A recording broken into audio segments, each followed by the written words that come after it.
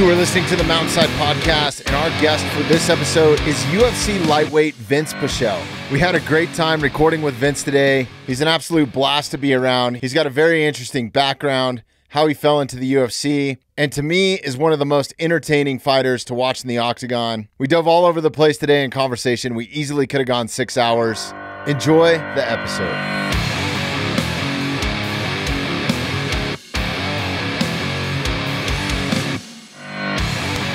Cool. All right, let's do this. See, things look pretty nice. Yeah, no, it's it's a professional setup. We uh we have an electrolysis next door. So uh, Oh, that's next door to you guys. I saw the sign there, and I was like, "Damn, I want to get." It. Yeah. we were getting some like radiation, like it was noise pollution, right? So it'd be like a little. Yeah. Every once in a while, I was like, "What in the fuck?" Because this is a new studio. We've only been in this. I don't know how many signatures are up there on the door. Yeah, 'cause it probably interferes with the uh, frequencies of it, huh? Like Yeah. the the Yeah, like having your, signals. having your phone too close to it. Yeah. That's he kept. I Bobby kept on moving his phone away, farther away. Like I he thought it was he a phone or responsible for it. something, but it ended up being whatever our old recording system. It would pick up whatever laser blasts were going on over there. Yeah, I was probably picking up the same. It was probably Right. run at the same. Uh, what is it, megahertz or whatever it was running that.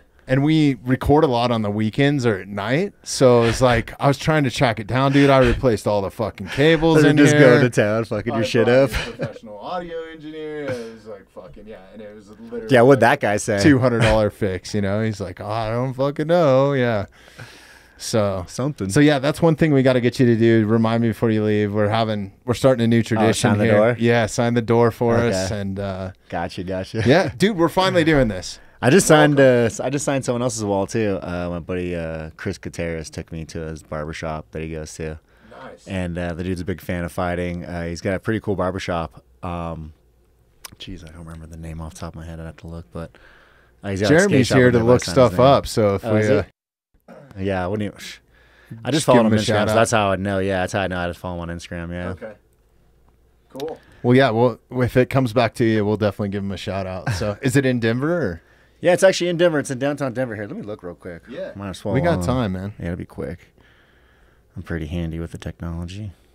This is awesome, though, man. We finally got you in here. Sorry for the fucking back and forth on scheduling. Yeah, and- no worries. My life's hectic too, man. Yeah, I know. Especially right now. Like, I wouldn't even. If I told you all this shit that's going on in my life, I don't know if you even believe me. oh, Crisp. I- it's Crisp Barbershops. That's what it's called. Crisp. Yeah, Crisp Okay. Barbershop. Nice.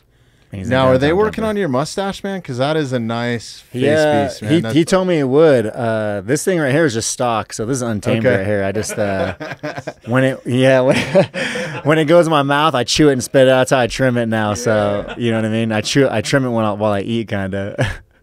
yeah. No, I, I have a lot a couple. compliments on it. Yeah, I bet. I mean, you're letting people fucking know what's up with that for sure, man. It's uh, I have a couple friends that grow just fucking awesome mustaches, and I would consider yours to be in that category. It's like part of the signature, you know. Like yeah, it is uh, now, huh? I feel like I started a little revolution in the gym too, because you got a bunch of guys that with mustaches now, right? Really? Yeah, we got like Rob uh, Wilkinson, Razor Rob, who just fought actually in PFL. Go Rob. Uh, he's got a stash now. Uh, my boy Askar had a stash. I think he shaved his though. Uh, my boy Rafa. So we got like five, six dudes in the gym ro- rocking stashes now. Oh, this guy Nick too, Nick Tarpley, one of our other uh, teammates. He's rocks a pretty good stash too. That's rad. Yeah, my buddy Jeremiah Blackbeard uh, on Instagram, Jeremiah Wilbur. We've had him on. He's a former SF dude, just fucking oh, sick. savage. He's he's an outfitter and a cowboy. So his name sounds familiar. I think I've probably followed him or He's a rad stuff. dude. You guys would probably get along really well. And then uh, my other buddy Eric Martinez has had the handlebar forever, dude. Like, Oh, nice. yeah, he's uh, Southern California kid too, and just good dude. So hopefully gonna run into him this month. He's an old rock and roll touring buddy of mine, and Oh, nice. Yeah. You a concert buddy? yep, we used to fucking do all kinds of gigs and shit together back in the day. And Oh, you used to work on 'em? You were a grip? Yeah. Oh, yeah, tight, Yeah, I tight. did uh, rock and roll touring, but yeah, I've done a little grip work. I've worked on a few movies. Oh, sick. Nothing super cool. I did like Pitch Perfect three and God, what else? I worked on Fast and Furious. Not the one I was 7. expecting Yeah, you to no, just rock dude. off with. No, no, Yeah, no, okay, no. You know, I did pitch perfect. they brought me in to be like a consultant on the staging side. So they wanted like the bands or whatever Oh damn. they were doing to make Okay. it look like. So not we just a would, pretty like- face, huh? Yeah. No. no, they didn't put me on camera. It was just they wanted all brains, no no mug, you know. So it's all good. It's all right. We all have uses. We all have our uses. Right. But yeah, those iconic mustaches too. Like I think one of my favorite films is Tombstone, so maybe that's why. Oh yeah. Um, There that was a, that was honestly a big in that. inspiration for me. I would say uh, Kurt Russell in that. Um, also uh, Sam Elliott. Yes, He his was his was dirty stash, too. yeah. Yeah. his was like. I mean, his is unbelievably thick. That shit's crazy. You can't fuck crazy. around with Jeremiah, Yeah, so. yeah, you can't fuck with that one. Jeremiah's on the screen. He's he's. Oh, there we go. can't- you oh, can't look fuck- at that bad You boy. can't fuck around with his. God damn that thing. I wonder how much that weighs. They start weight You know class what I for mean? mustaches. like fuck, he's gonna have to cut an extra couple pounds from that bad boy. yeah. I, I made a funny post about that when I was uh, cutting weight last time. I was like, damn, I had to cut a couple extra pounds of this fucking stash. I'm gonna have to trim this thing next time. Yeah. That's a stash right there. That's a man stash right there. Yeah, Look at he's that all thing. man too. You gotta feed that thing separately. Yeah, we got to get Jeremiah back in here too, man. He's a fucking good time. He's Fuck just yeah. fucking savage too. Great, great people. oh, there's Chris Gutierrez right there. There's my boy. Pull up. Uh, Yeah, there's is the barbershop I was at. He's, so he's Oh, got like a little that's skate shop man. in there. Yeah, the dude's fucking cool as shit too, man. Like real smart guy. Um, God, I whole- wish I had hair to cut. Man. I just cut my own. I got the convertible going, so it's like I mean, he'll it's find something to cut. I'm sure. Right. Maybe the beard. Yeah, right. Because I told him about this. He's like, "Oh, let me let me get in. I'll, I'll, I'll hook up that stash and whatnot." I was like, "Oh yeah." I was like, "Damn, normally I just let this thing grow wild, but I'll let you." You ever wax it, it. at all, or you I have put- like some wax in, done a little bit, and sometimes I do. I got like this little. uh I got this wax. It's like a cedar uh, smelling uh, Oh, wax. nice, I just love the smell of it. Honestly, that's the only reason why I use it. I'm big on the beard oils, man. Like Is it get itchy for you? Is that why? the, the yeah. I have some beard creams and oils from Everyday Man Jack sent me some shit, and it, it's awesome. It's an all natural. I don't know. This isn't if a commercial. it works, it works, yeah. them, but fucking works good, dude. It's just got a little like pumper and put a little bit in the morning, and Hell yeah, helps man. I wish I would have like known about that or thought about that when I was growing mine because uh, it was super itchy and, and admittedly at first I probably shouldn't have been near a school when I was growing it because I just grew the stash out. I didn't even like grow a beard and then cut it. Yeah. And so uh, the first time I had it was, uh, geez, I think when I fought Gregor. Yeah, when I fought Greg Gillespie was the first time I rocked the stash. Okay. And it was like, it wasn't, it, it, I couldn't even grow it like this, honestly. It was still like in its baby phases. But I remember, uh, damn, I wish I would have had something like that because it was just itchy as shit. And I remember it all the time. I was like, I'm just gonna shave this thing. It's bothering me. And I'm just like always scratch. People I thought I had an issue or something. You know what I mean? Probably had some kind of skin thing going on. That you were tweaking out over there, Yeah. or something, huh? I would review. Does it ever get in the way of you fighting at all? I mean, is it No, uh, because or not really. Honestly, anything? Like I- no, because it, it, dude, it honestly perfectly hangs over both my bottom and top lip, so it doesn't really get in my mouth when I'm doing stuff like that. Just when I'm eating, because I'll catch some food on it. You know what I mean? And I'll just jam it in there. the flavor saver. Yeah, for real. And and sometimes too, I'll just be like, I don't know, just pull to the side, see what I had earlier. Right. oh, that's awesome. So, man, I'm stoked that you're in here. Um, yeah, Jordan Kurt's. I've I've been been in- in here for a while. Oh yeah, he's a great dude. Yeah, Man. shout out to Jordan Yeah, for shout helping out. set this man. up, and uh, we've had him in several times, and his podcasts go very long. Man, that dude can talk. Yeah, I'll tell you what. Uh, me and him have gone in some some talking ram rampages for a couple times, and where I'm like, oh shit, I'm like twenty Four minutes hours. late before I gotta go. You know what I mean? Yeah, yeah. I've done his podcast. We've been outside just chilling. You know what I mean? Talking, and then I'm like, damn, it's been we've been a half hour. Should just kept the cameras rolling, dude. I love that dude though. It's like entertaining the whole time though. It's Yeah, like you no. it just snowballs and snowballs, and yeah, fucking awesome, awesome dude. Yeah, I love his uh, attention to detail to everything and how he he's just so involved. Like he's a 100% guy. So like when he's in something, he's in something. You know what I mean? I like that about him. I really admire that about him. Yeah, no, that is a hard trait to have too, right? Because Yeah, it's a I rare mean, thing I have, have. a tough time with it. I'm normally one foot in, one foot out kind of Sure, type of thing, and both, it's man. like, especially when you become a father. I don't know if you have kids, but like, I don't have a kids, but uh, I don't have any kids. But my girlfriend has a little four year old, or she's almost five now that I've been taking care of for the last few years. So I, I know what it's like. Right, but I don't yeah. personally have any kids myself. Yeah, no, that uh, that puts a damper on some of the hobbies and and stuff like that for sure. Because it's like, yeah. well, even that screwed up our recording because it was my son's first football game and I recorded with or set up the recording to be with you at the same time and I hit you up and I hate rescheduling on people. I was like, And there's no way I'm not gonna be like, like- dude, just go, bro. Like, don't even like fuck my Oh, interview. what a piece of shit father I would have Yeah. been for not showing up, man. Like, god damn. And he, I would have felt like a piece of shit if I would have showed up here too and been like, I would have just been talking shit to you the whole time. Like, dude, like could have been watching the kid play baseball. yeah, yeah. No, it's cool. They, uh, up.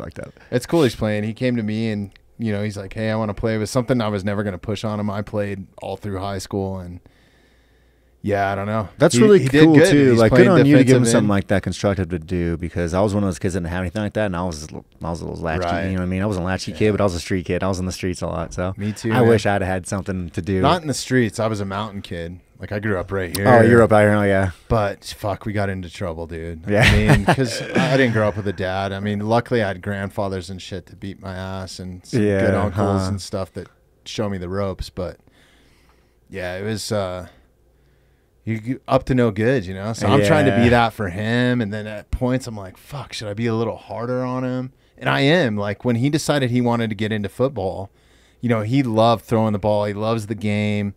He loved catching the ball and all that, you know. So uh, the first equipment that I think he ever had was he wanted a pair of receiver gloves, right? So when we went through the ball, and I would make him run routes and Just stuff. stick to his hands. But then when he decided he wanted to play football, I was like, all right, let's go. So we went down the hill. I bought him all the equipment, like helmet, shoulder pads, everything. Oh, damn. Put it on him. It was a fucking blistering day, like 90 degrees up here. blistering, right? Took him out on an AstroTurf field, right? That gets extra hot. And Oh, was yeah. like, all right, now catch the football, you know? And you're going to run sprints. And he's like, yeah.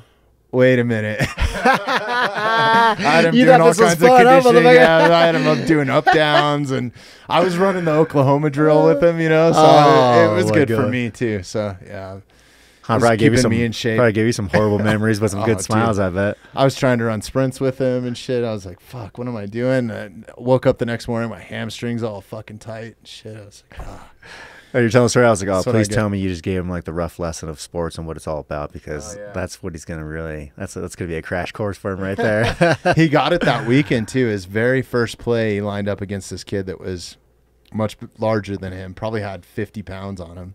oh man. and he got knocked on his ass. I mean, pretty mm. hard, like right out of the gate. He's playing defensive end, but then after that, he surprised me. He turned it up, and They probably woke him up a little bit. Yeah, was Yeah. like, "Oh shit, these guys are really playing." Yeah, he ended up having a sack. that and one stuff. back. I was proud of him. nice. That's cool. Yeah, man. So your background, you mentioned growing up in California, or Yeah, yeah. I grew up in California in L.A.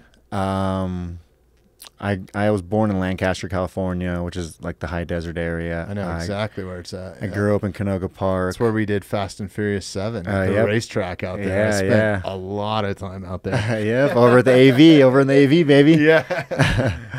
And uh, yeah, I grew up in Canoga Park, and then when I got like, uh, geez, when was that? I think well, it was kind of a weird time because when I was in sixth grade is when uh, they were transitioning sixth grade to junior high instead of elementary school like it was. And so in the in the valley, which is what I called LA, was the valley. In the valley, uh, in my year, my sixth grade went to junior high, so I went to junior high for a year, hated it. Uh, I got picked on a lot. Motherfuckers tried to flush my head in the toilet and shit. Right, I was small in high school. I got picked on a lot when I was younger. Uh, I was the poor kid that wore shitty, ripped up clothes, had the fucking mullet. Right, so you know what I mean. I'm the first generation born out here in my family, so right, Yeah. I was like that to a T. You know. And so uh, I hated it. And then we moved out of there to Simi Valley after the Northridge quake, which was in 94, 96. Damn, do you remember that? Yeah, I, I actually slept through the uh, first one, the initial quake, and I woke up at the end thinking. So this is why too, and I laugh about this, but it's pretty nuts.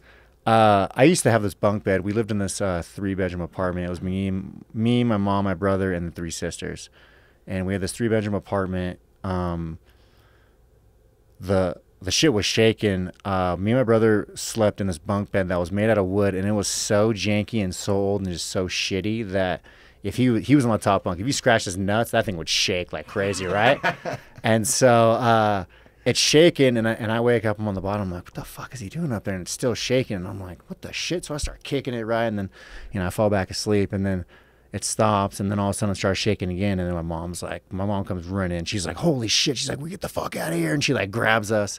She's like, "Let's go!" And I remember uh, my apartment, like I had a the the front door was right here, and like my bedroom was at the end here to the left, and then straight down you could see down the kitchen.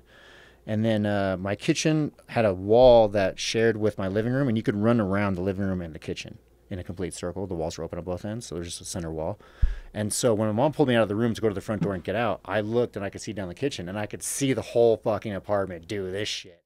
And the cabinets were opening, and things were just flying out, and I was like, "What the fuck is happening?" You know, I've I've never seen anything like this before in my life, and I was I was like what 11 years old, 10 or 11 years old, and we go outside and I don't know what's going on. Things are shaking. I kind of think it's fun, right? I'm like, damn, like this is kind of this is cool, you know. And everyone's freaking out. Everyone's outside, and we're all like in our designated areas because there's like some kind of plan I had no idea about, right?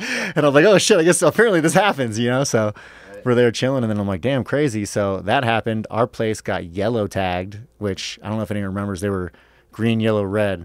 Uh, so green was you're cool to live in there. Yellow was uh, you can live in there if you want to, and red was you probably shouldn't live in there. Really? And so ours was yellow tagged. Uh, we remember there was a hole in our apartment where I could just walk through into my neighbor's house and like Damn. buddy- so like it cracked the wall so much that you could just. but just destroyed the drywall and it just came apart and I could walk through the beams. I was tiny, so I could walk through the beams. And my buddy Jonathan lived right next door, so I would just go to his house. We'd just chill and play for the next few days, you know. But we moved out of there. We moved to Simi Valley, which was like Ventura County, and then from there I lived on until a year ago. I just moved out here to Denver.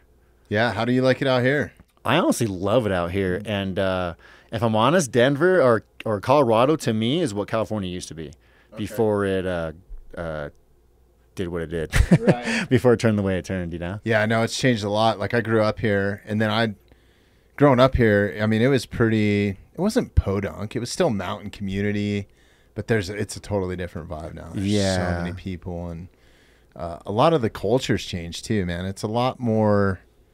I don't know. I'm not super into politics or anything, but it's definitely a lot more left than than uh, it has been ever. And it's it seems like ever it slowly is going more and more that way, like more like California type Yeah. mentality when it comes to I honestly think it's just the major cities because, like, I mean, us as a as a her- I mean, you know, what I mean, we're we're animals too, just like any other species, right? And we could be herded like any other. And I think cities are the easiest part that we get herded. So I think that's why that happens in cities because outside of cities, you don't really see that too much. And there's a shitload of people here. I'm I wouldn't be surprised. Jeremy, maybe this is something you could look up, like the population of Colorado and I don't know. Or the let's say majority of the population is probably Boulder and 92 Denver, I or something. Yeah. No, it's like seven million people right now or more. Um, but Oh, geez, like in like 1992, when I was growing, I mean, I was in high school then, or middle school, junior high. I made that transition from. I think I went to junior high school. So for like, sixth grade. yeah, and then I played uh, when I was playing football. I used to have to go over to the high school to practice because I was a freshman, but I was starting because I was always a big kid. Damn. So yeah, I got fucking picked on a lot. dude. I got beat up. Oh, that's what I was gonna. That's what I was gonna say too. Uh, so when I when I moved to Simi, I went back to elementary school. Really? So yeah, I was in junior high, like all these classes, right, doing my shit. And then I went back, went to elementary school, and I was like, "What the? F- this is fucking weird." Now I feel weird because I'm now I'm back in elementary school. Now I feel like they they downsized me, right? Like I feel like I got held back or something. like, wait a minute. let's Yeah, no, that is strange. What year were you looking? Five. I, it's I don't five know, point- like '90s. That's or- what it is five- right now? Five point six now. In 2012, uh, it was four. Damn, four- so it's a million half people and million more Woo! in 10 years. Is there a bigger graph? Can you go back to Yeah, like the hang on a '90s? Because there's got to be. That's insane. I know California went from like gaining like a couple hundred thousand people a year to losing tens of thousands. in the last- point- in the last 3.2 in years. Dude, I know so many people that have left. Really? So So it is. It's doubled. almost doubled. Wow. That's wild. Not quite. Yeah. You're, you're you're half a mil short. Ah, it makes a lot of sense. It was definitely a different place, man. Man, we're like It was, cockroaches. You just can't get rid of us, can you? Well, I mean, even in the '90s, like I fell in love with California punk rock. I fell in love with punk rock shit, because yeah. we had in the '90s. LA was not a good spot, right? Like, I Yeah, mean, no, it was- it was pretty rough. You're right. That was there when was it was all the gang bad. stuff. You had the Rodney King shit going on. Yeah. There was, I mean, There was there was a lot of transitioning, I think, between uh, the different groups of people who were ending up there and them trying to make their stake in the place. You know, like Yeah. everyone was kind of like, "This is our fucking area." No, that's our area. We're here first. No, well, that's we're here now. You know, kind of thing. Right. And I, I used to see a lot of fights between like gangs and uh, even like punkers too.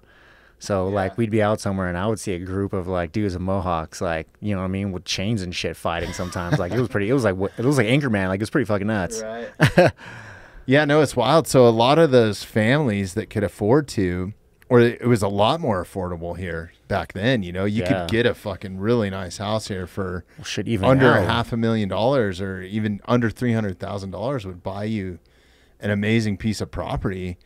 And uh, so a bunch of my friends were from Southern California, like the LA area, and they were all into skating, punk rock Yeah, music. Like I, that was my scene. I figured out about Black Flag, and then we were trying to skate up here, like in the grocery store parking lots, getting kicked out of those, and like now they have a skate park here, but it was just way different, you know, like Yeah, actually, mountain kids uh, trying to be city kids, you know. Yeah, huh? The the transition of the cultures. Yeah. I used to love skateboarding, man. That was like a big thing for me when I was younger. That was like that's what kept me away from drugs until I quit skating. yeah. Yeah, no, I think it kept me out of some trouble too. I, I know dirt Street bikes did for fucking- sure too. Yeah. Oh, I love me some dirt bikes. I got me a was, KX250 I was so still. fortunate. My grandfather bought me a dirt bike. That was one thing that they always made sure I had. Like I didn't have a whole lot of toys or nice clothes or they always made sure I had decent shoes and and if it wasn't for my grandparents then a dirt bike and Yeah. I guess the dirt bike got me in some trouble too, riding where you're not supposed to. Yeah, they know, can, they couple can. golf courses or whatever, you know, like no big deal, Shredding but it some looks so motherfuckers' fucking lawns. fun, you know. And that was around the time uh, one of the big influences. A bunch of the kids that moved from Southern California were into like moto Metal Mulisha and and, stuff. stuff. Yeah, the, and all those uh, boys. Flesh Wound Films. I don't know if you're familiar with those. I've actually heard of like- Flesh Moon. or I've Crusty Flesh Moon. Demons of Dirt or something. Yeah, like Crusty that. Demons were the old videos. Those were Yeah, old. Uh, those, those were were the the old. shit. Like, I think those were like pre Metal Mulisha. That was big before they actually turned themselves into Metal Mulisha and did that little thing with them. Right. That's crazy, man. Uh, you know what's funny is, uh, so I used to know this guy, uh, Mark Smith, Mark the Bear Smith, and he's actually the one who got me into fighting. And he used to train with those dudes. Uh, he used to train those guys, Deegan Oh, and Twitch okay. and all those Yep. boys. And so, like, I met them when I was younger through him. And then uh, I actually met Twitch again through Ross Pearson because Ross hangs out with those dudes too. Yeah. And so I met Twitch again through Ross. And Twitch was like, dude, I've, I fucking met you before. And I was like, holy shit, you, like, you remember that meeting me when I was like, because I was like tiny, right? I was like, He's young kid. actually a really good dude. I've done Yeah, a They're bunch really, with they're all him. really good dudes. One of the first like large production tours that I did was Tony Hawk's Boom Boom Huck Jam. oh, shit. So I was on tour with a lot of those guys like Ronnie Faisst and Dude, was- uh, Mad Mike Jones and Carey Hart and uh, Deegan was on it. Um, I don't think Twitch was around then. He came a little bit later in it, I think. But then I did all kinds of stuff for like Monster Energy and a bunch of these energy drink companies, and they would uh, they were always out at those things. So we were hanging out, getting into know. Yeah, those because those boys are No friends. good, yeah. those guys are friends like since they were kids, I think too. Yeah, How crazy! no, good people. And then uh, my buddy Mickey Diamond was one of like the original crusty dudes. You know, like Oh, was- for real? Yeah, he's still a good friend. We we keep up pretty regularly. And yeah, I, I I love being around that too, man. That's such a fun sport to be around. and- Yeah, the energy, right? The energy that's involved in it. That's what That's like. cool. That's why I'm super attractive to uh, sports like that. Like any anything dangerous, man. Like I'm an adrenaline junkie kind of person. So. Like motocross, skydiving, you're right. These guys on mountain, like downhill mountain bike, the rock climbers. Like I love watching and seeing and learning and doing. Like I don't like fucking doing that shit because fuck Right. that, that's nuts, right? Like people call me crazy, but nah, those dudes are nuts. But like, like I that love Alex watching it. Or whatever that did that National Geographic. He climbed Yosemite, like free climbed it, no ropes or oh, anything. Oh shit, for real? you need to watch that. Yeah, that is. There's one on Netflix that I just watched. With it's about this 20 year old Canadian kid that actually died mount uh, mountain climb, but he was an ice climber, a free free ice climber. He went out there with just pickaxe and shit, and, and this dude he broke records that are still he like has records of uh, climbing. I think it's that one, Alpinist. It's that one right there. That movie, Yeah, I saw it. Alpinist. Okay. That movie is that that documentary is I'll have to check fucking that out. good. The ending is not what I thought it was, and I like cried a little bit, but it was a really good documentary about him, and like the story is really like I enjoyed that a lot. I thought this was a really Those good dudes are wild, man. We've had some professional climbers in, and Yeah, these motherfuckers are nuts. Like, look at this shit. What do you You'll think? What are you never, thinking? You will never fucking see me do this, dude. Like, look at these guys. I'll fight anybody, but I'll never fucking climb a mountain like that. Fuck you. Wow, that's insane. So there's a lot of it in the Alps? Yeah, or look at this guy, and that's him too, right? Like, just unsuspecting, dude. He looks like just the dorkiest dude you ever run across in your life, but Right. he is just a monster at climbing mountains. deluding myself that it's not dangerous to go soloing. Yeah, these free climbers. Look at that. Fuck, that's so nuts. Solo alpinism. I guess you just don't look down, huh? Uh, no, I think I think some of these dudes are like on the spectrum a little bit. Like, oh yeah. Yeah, they did a in that um, the deal with Alex Honnold. I think maybe look that up so I can shout that out. Um, I think it was. Um, Like in the in the What was in the name of most- it? In the most productive and dangerous way, they're like, yeah, yeah. no, A they did little- a CAT scan on his brain, and they were like, "You do not register fear at all. Yeah. Like, there's no receptors. Like, Honestly, you I think uh, I don't. I don't really. this might sound weird, but I don't think people who are autistic are really like handicapped or anything like that. I think no, I think they're No. superhumans. Yes, Yeah. I think so too. I think uh, I think something just triggered differently in their brain, and they although they might not be able to articulate and some things are off, some things that they do are superhuman, right? And and like that's just a fact.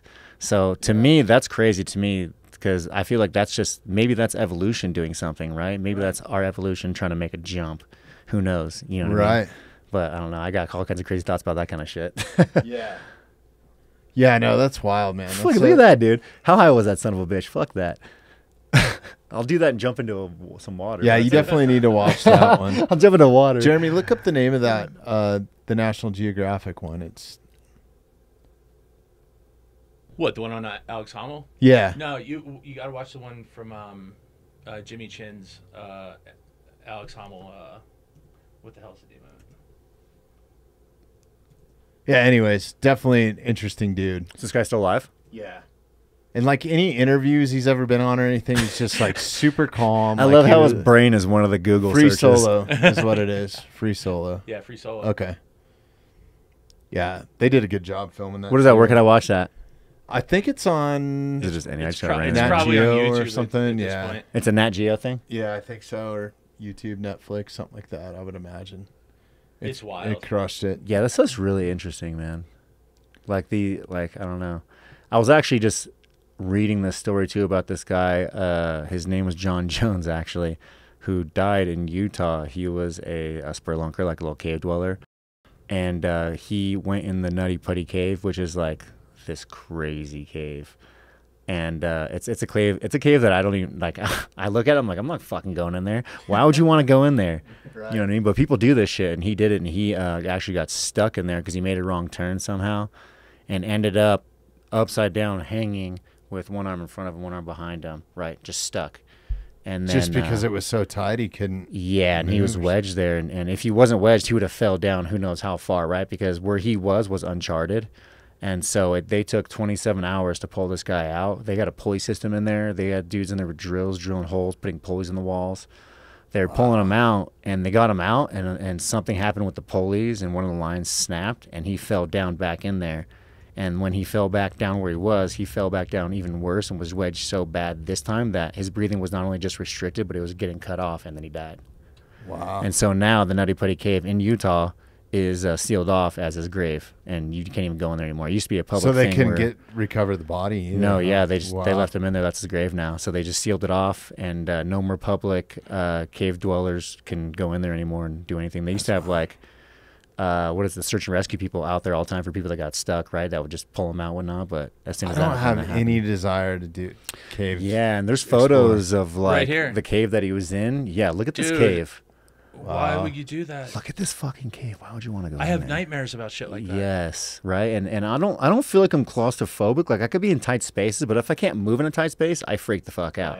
Like I will, I will. I don't know, dude. That shit. There's I certain cannot do ways that. I don't want to die, and that is definitely on the top of the But fucking yeah. list. So okay. dude. So see that in the very center. That's the last photo they have of him right there. With his feet sticking oh out. shit. See his feet just above that one. Yeah, that's the last photo they have of him. That's him wedged. Oh Christ. Isn't that Fuck crazy? That. Wow, that's crazy. And some people, I mean, they just dedicate their lives to to odd things like this, and odds like obviously he's not They do it and out it's fucking doing amazing it for right? the money, right? Like Yeah. or anything. There's no other. That real thrill. drive, It's better than drugs. That's better Yeah. than drugs for some. You some know what I was watching Exactly. yesterday is that Grizzly Man. Uh, Oh, that's another that. That's, one, a- yeah. that's like another one. Oh, is that the guy got mauled? Yeah. And he's like Yeah. making the video and his face is like yeah, hanging he like, like he named the RoboCop. bears and shit. And was like thought they were his friends until they ate the his ass. Oh yeah, he eventually died, right? Yeah, Yeah. he eventually got eaten. Yeah. I th- man, I don't know, man. Getting eaten alive by a bear would be just because they eat you alive. I mean, Yeah. they'd hold you down. Yeah, they don't kill you, they eat you. They take eat you as you are. Like if you've ever seen them eat a moose or a They'll bite you in the neck and paralyze you Fuck, too, so you can't Yeah. fucking run. I'd much rather have to deal with a mountain lion because Feed at the least they're cubs. gonna kill you first. You know, Yeah, they'll hopefully kill you. before they eat you. or, or injure you in a way that you So- won't feel anything. I don't know. We're so soft as humans, you know. Yeah, we're like squishy. we we think we're invincible. We're squishy bags. I mean, but we have these, you know, amazing minds that, that at least we can outwit some shit. Because if not, we would Right. be fucked. we are so powerful. and then but you so see fragile. so many stupid people that are in Yellowstone This is with the guy, their right? phones yeah, out. Grizzly Man. Yeah, or somebody like this that is trying to live with fucking grizzly bears, dude. Like, what do you think is going to happen? you That's know? crazy. But how many times has he survived before that? You know, Like, right? Dude, the footage You that get he too got and comfortable, everything Yeah, he probably a- thought he was absolutely invincible. insane. Yeah, you get too comfortable. There's footage. there you go. there's There's a- footage of it. There's a strong stash right there, dude. Look at Yeah, that's Okay, another good okay. one. Uh, that must be the pilot. that. it is. He looks like he's from Chicago, though. That fucker's packing.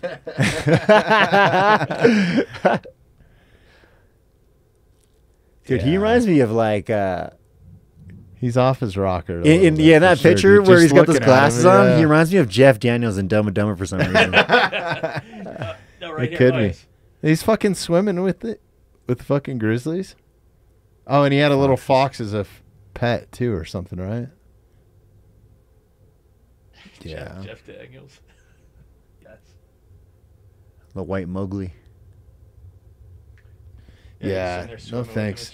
No. I don't You know, people do some crazy stuff, man. But honestly, like, I'm kind of like intrigued by it too. Like, I, I enjoy that shit as well. There's something about seeing one of those things if you've ever seen them in the wild. It's un, you know, it's like that pucker factor. Like Yeah, oh, it puts you in your spot. Another thing that the only other time that I've really gotten that feeling is being in the Pacific. I used to just stand up paddleboard. I lived in Hermosa Beach for like 20 years. And I would stand up paddleboard and when the gray whales would migrate, we would go out and like you know, get out Yeah, and yeah, kind of paddle next to him.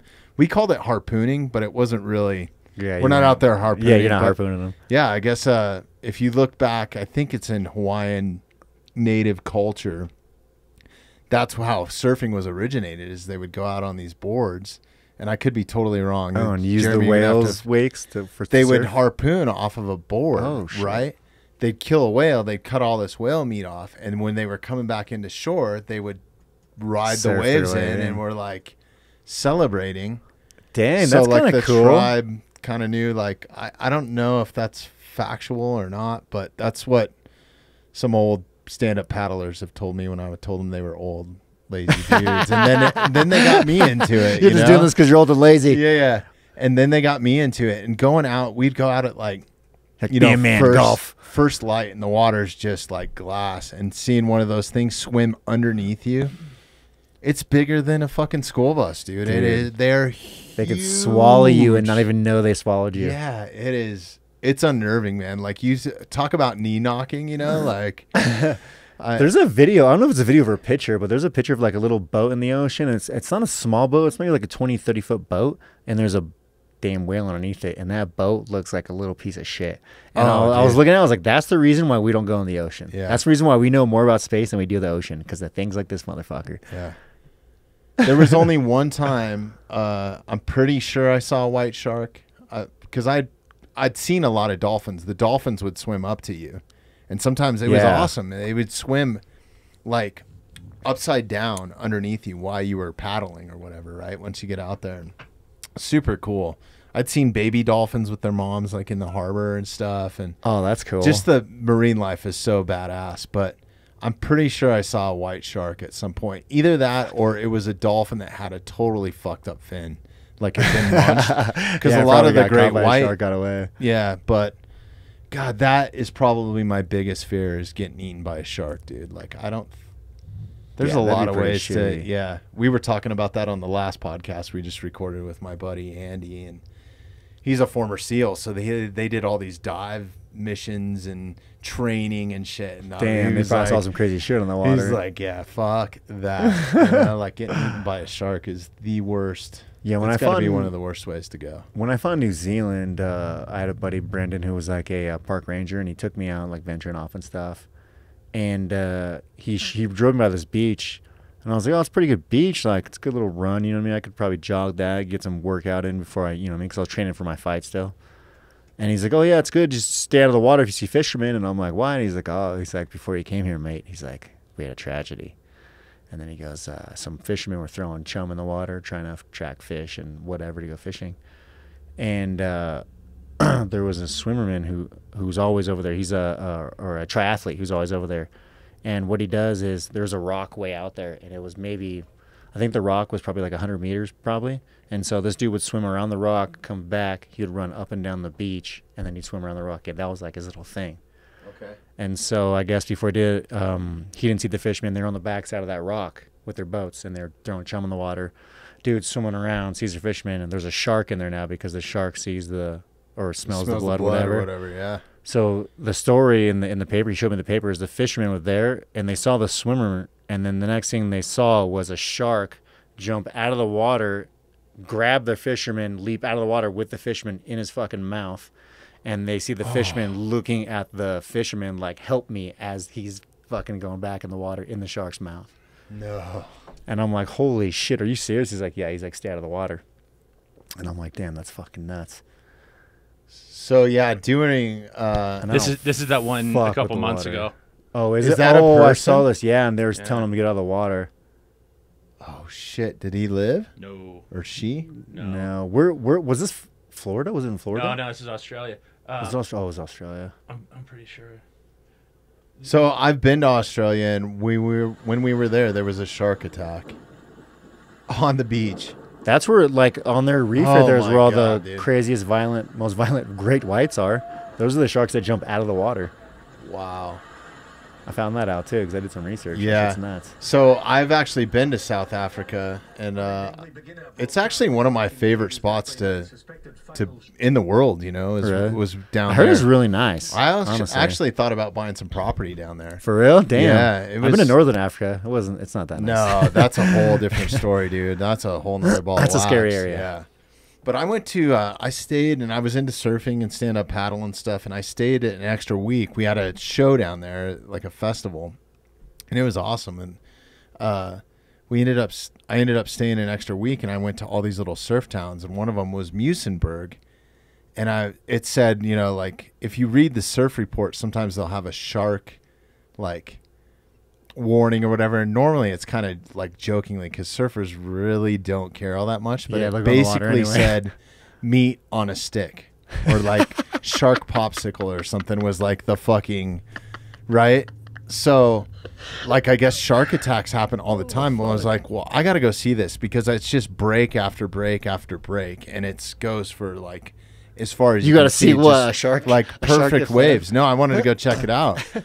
So I took this cab ride like fucking I don't know, 45 minutes and we went through some like crazy like tribal like villages. They weren't tribal villages, but just like super third world like type villages, right? bushy Where they were like carrying buckets of water and shit, dude. And um it was cool. I mean, the people were all nice and and stuff. I was giving out candy and some other shit that I brought. Giving out candy? Well, they the taxi cab driver handed me a bag of candy, and it's like a toll to go through some of these spots. Oh, really? You yeah, so like the kids run up to the car, and you just kind of Oh, like you you're like candy. fucking Santa Claus or something. Oh shit! Yeah. Otherwise, what happens? The kids throw bottles at you and shit. The know, bottle dude. kids. They might fuck you up. You know what I'm saying? Like, shanked. It's a hard life out there. It's a, know. you know they're Take just trying shoes. to provide food for themselves, I think, and clean water if they even have that. you Yeah. know, like, but anyways, I got to this little German town of Muizenberg. It was awesome and uh, beautiful, beautiful little spot. And I look out and the, there's hundreds of surfers in the water, and I was like, I cannot have traveled all this way and not go rent a surfboard and at least surf like Huh. my chances are pretty good, right? Like I at least like one in a hundred. And the day after I left, like I surfed all day, had a fucking blast. The waves were so easy for me to get in and out of, and Nice. it was just incredible surfing. And the Yeah, day problems like after, somebody got shit. munched, dude. Oh damn. Yeah. Wild by a white shark. And then we did one of those shark uh, tours where they take you out on a boat Fucking nuts. down there. With a glass bottom. No, it has, they drag a dummy behind it. Oh And the sharks fucking breach the, breach the Oh, they jump out and grab it. Oh Yeah. fuck. We were only Does it- able to get does it two jerk on sharks the and they weren't very big. No, but it is frightening because you don't know it's coming. It's like a gunshot, dude. And then all of a sudden, there's a, you know, I think that we maybe saw like six, eight footers. But yeah, Jeremy, play one of these videos. How much do sharks weigh? They're like Oh my god, dude! They thousand gotta pounds, be. right? They're pretty heavy, huh? I Big one. wonder, yeah, a maybe fifteen foot one's gotta be a at least fifteen a few hundred footer. pounds. That'll be the next Google. Huh. Yeah, see this little dummy? Damn! That's not a very big shark either, man. This guy looks nervous as fuck. Yeah. he looks like Troy Aikman's nervous cousin. No, and I think it's the only place in the world where the sharks come completely out of the water. Yeah, it is down there in Australia, New Zealand. That's Yeah. that's like where the sharks are crazy because that's where. Uh, what did I watch? Shark speeds. I watched something about Shark Weeks. I was Hang watching a. Shark Week on it. They're telling you. So it's like a competition. Dude, female, 4,200 to 5,000 pounds. Holy shit! God damn, Jump- dude. Jumping 10 feet out of the water. That's my fucking GMC. God damn, dude. There's also these fucking. so big. there's also these tiny sharks. Talk about a fucking These- predator. They're fucking frightening, dude. They look like an alien. Like a little it's called piranha. a yeah. It's called a cookie cutter shark, What? and it literally got. Let it me- looks Google like a these. worm. Let me see one of these. Yeah, it looks like a worm, and it bites a perfectly round circle out of you. No way. Yeah, so the, it's it's basically a parasite, right? And it lives like super dark deep, and it comes out. It's nocturnal. It comes out at night, and it'll kill great whites. Like it literally just goes through It'll them like a drill. No bit. fucking yeah. way. Yeah, look at these things. I think that they only actually have one actual. Dude, that fucking third picture looks like it's got lipstick on. on the top. the third on the top. it looks like a dick with lipstick What the and teeth, fuck dude. is that, dude? what the fuck? Uh, but Motherfucker got some there's- Botox. there's a couple people that have like those triathlon. Yeah, look at that picture in that dolphin. It cuts a perfectly round circle Holy out of it, right? And sometimes there's multiple ones, so they just Fucking eat you alive. Yeah. Killer whales. They That is so. That's too. a scary fucking. Fuck Yeah, the ocean, dude. dude. Yeah. Fuck the water. Yeah, you start looking at this, you don't want to fucking go to the beach anymore. Or you want to stay on the beach.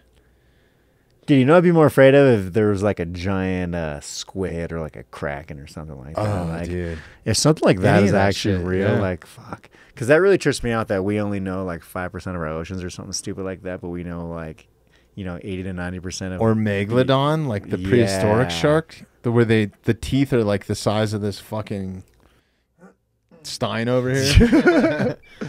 yeah, no. Well, we got on a shark tangent. Let's get back. Huh. I want to get back. I got a lot to talk to you about. We're right, fucking go, burning through the time. We're good. I got what? Uh, yeah, we're talking about savage predators here. Um, what? Speaking of that, what kind of got you into fighting? You mentioned, you know, knowing some trainers and getting beaten up a little bit as a kid and picked on and I don't know. I feel like my story is kind of just like the typical story, right? Like, uh, like I said, I'm the first generation born out here. My, my parents, my mom, my dad. Um, my dad's side, they're full blooded Italian. My mom's side is like Dutch Indonesian, and uh, so I didn't grow up with my dad. My dad was in my life the first few years. You know, left whatever. I grew up just an angry kid.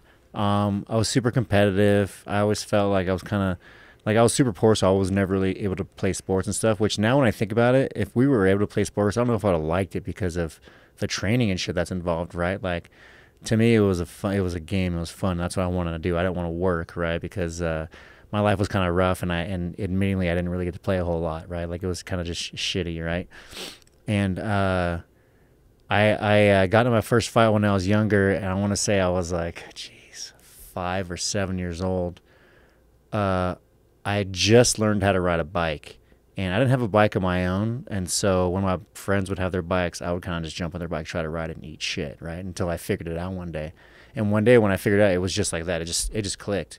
And when I jumped on this bike and I could ride the bike, I remember I was just fucking hauling ass, right? Even my mom was like, "How the fuck you learn how to ride a bike?" I was like, "I don't know. I just hit the pedal and just go. I don't give a fuck, right?" And I ate shit a lot, but I, I also hauled ass on that thing. But anyway, I remember um, I was riding I was riding my friend's bike, and my brother was getting picked on by this big ass fat kid, and then I was like, "Fuck, what am I gonna do?" And I was like, "Fuck that shit." So I was like riding over there, and I remember I was like pissed off too because I was like fucking picking on my brother, like I'm the one who gets to beat up my brother. You know what I mean? and so I'm riding, and I just slam into the kid full force with the bicycle and me, and like I go flying, right? Like I hit the kid, he he goes flying, I go flying.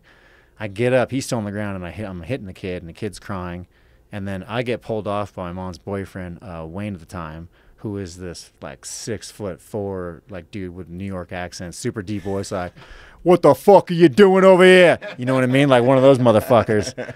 And so he grabs me, picks me up, was like, "What the fuck you doing?" Right? Throws me on the ground, kicks me, kicks me back inside. It's right? not like, funny, but man, this is Yeah, like this is what happened, this right? Like Hollywood story. yeah, right so like I, like I was the asshole in his eyes because he just saw me picking on the kid, like beating up on the kid. Even the kid was like twice my size, right? And so we go inside, they're yelling at me, and I'm like, he was picking on fucking Tony and my brother, and they explain it right because the kid's parents came over and was talking shit to my parents, like saying because I because I hit him on the bike, right? Because I was just I full force hit him on the bike, and the kid was fucked up. And so uh, they were talking shit, and then I was like, he was picking on Tonio. I fucking saw it. I slammed into him. What do you want me to do, right? And my mom's like, "That's what happened." I'm like, "Yeah." And then my mom's like, "Fuck you!" Started cussing them out. Right? I was like, "Fuck you guys! Your son's a fucking piece Yeah. of shit!" Right? So that was like my first fight, and then from then on, I was like, "Damn, I like that. Like that was fun." And then when I was in first grade, I got my actual first like fist fight with two kids, and uh, like I said, I got made fun of a lot. And these two kids were new to the school. Uh, I went to a school called Limerick Elementary, and uh, damn, I still remember my teacher. Her name was Miss Kadani, and a little Asian lady. and she, she loved me, but she hated me because I used to curse when I was a kid, and I didn't think words like pissed or uh, you know ass. I didn't think those were bad words because they were normal around my environment. You know what I mean? So Yeah. I didn't say fuck or shit, but those the other words I did, you know, say. And so anyway, uh, they were picking on me one day, and I just had enough, and I started fighting with the taller kid. There was a taller one. Uh, and then I don't remember his name. And there was a shorter, fatter Mexican kid. His name was Elias. And then I, I tackled the big kid, started punching him, and the kid Elias tackled me, started punching me, and then we both got up. Me and him started punching each other until we both kind of just started crying. You know what I mean? As we were punching each other, and then we stopped. I jumped a fence. I jumped like a ten foot fence and ran home in the valley in L.A., which was like, I don't know. I think I lived like three or four miles to back home, and I think it was the second or third just grade. pieced out of school. Yeah, I was like, gone. I was crying. I was emotional, right? I didn't, I didn't know what to do. I was kind of like lost, and I didn't want to get in trouble. And I was just, I was a little afraid, but at the same time, I was like, fuck you guys. You know what I mean? Because like, this is where this how only happens. This only happens in this fucking place. So fuck you too. right. But uh, I get home, I walk at the door, which my door wasn't locked. I thought that was kind of weird. I remember looking to my right. I Remember, my kitchen was to the right. My mom was feeding my little sister Nisha, and who was still in the high school at the time. My mom's like, "What the fuck are you doing here?" And I told her like, oh, "I got into a fight at school," and I left. And I, my mom, you know, we jumped in her Cadillac. My mom used to have this old '73 Cadillac Eldorado, big Really? black boat. Yeah, just a monster, right? Those with a- things are awesome. yeah, man. with a My mom had a 460 in it. Lincoln puke green Lincoln Continental. Ah. right? Dude, no seatbelts. Like I used to have like a toy truck and would be like running across the back dash. You know? Like, oh fuck yeah! We got in an accident one time, dude. I'm lucky I'm here. Oh, for real, dude. We Yeah. we actually got hit in my mom's Cadillac too, and it didn't even phase that thing because it was made out of steel. But Yeah. uh, I actually got fucked up, and uh, the doctors said I was gonna have scoliosis, and not even be able to walk when I was older. But here, I am. Really? So yeah, I got because when it happened, I was twisted. I was like this, and I was fucking with my brother, like beating up my brother in the car, and we got rear-ended. And we were stopped at a light, and this dude was, this lady was doing 60 miles an hour when she hit us, and it didn't really Holy like shit. it fucked the car, but it didn't really fuck the car up, you know, because it was steel. And so Those was- old cars. was uh, that. Our car was fine too. That Lincoln Yeah. Continental. I think it was like a 60s or 70s. It was pretty nuts. Dude, it Yeah, look had. at that bad boy. But this it was puke green. But it, I think it was a four door. Look up 72, actually. Maybe it was a 72. Her original was a 72, I think, and because the headlights were different. The That front is blinkers a were like the, gangster car, dude. yeah, the front is- blinkers were the tall, thin ones on the side. Yeah. They went vertical. Okay. Maybe it was a 72. Yeah, right there. Boom. 72. It was that one. Dude, my uncle had one of those. Uncle Jack. Did he? Yeah. That was that car was fucking badass. I, and till this day, like if I were to get like a nice luxury car, it'd be that thing. And ours wasn't nice by any means. Like the seats were leather, but they were tore to shit, and the leather fucked you up if you rubbed it right. Right? It would like it would leather cut you Like like cut you, yeah. yeah. like paper cut, but worse. Yeah. The seatbelt, it was black inside. The outside was black. You touch the seat on a hot day, it'd burn the fuck out of you. Those seatbelts would burn the shit out of you too. Leave Yeah. stain, leave marks on you. I got my door. I got my leg slammed in that door one time. I remember because my sister shut it real hard, and I was getting the back. Damn, Oh, that is a heavy door Yes. too. Yeah. I I had never felt pain like that ever in my legs till this day. Yeah, with me, I was so we were going Oh, through an intersection on like a 30 mile an hour, 35 mile an hour It street, was dope. and uh, I actually remember exactly where it was at. It was Bowles and like Kip, Bowles and Quincy or something like that. Oh, out here. Yeah.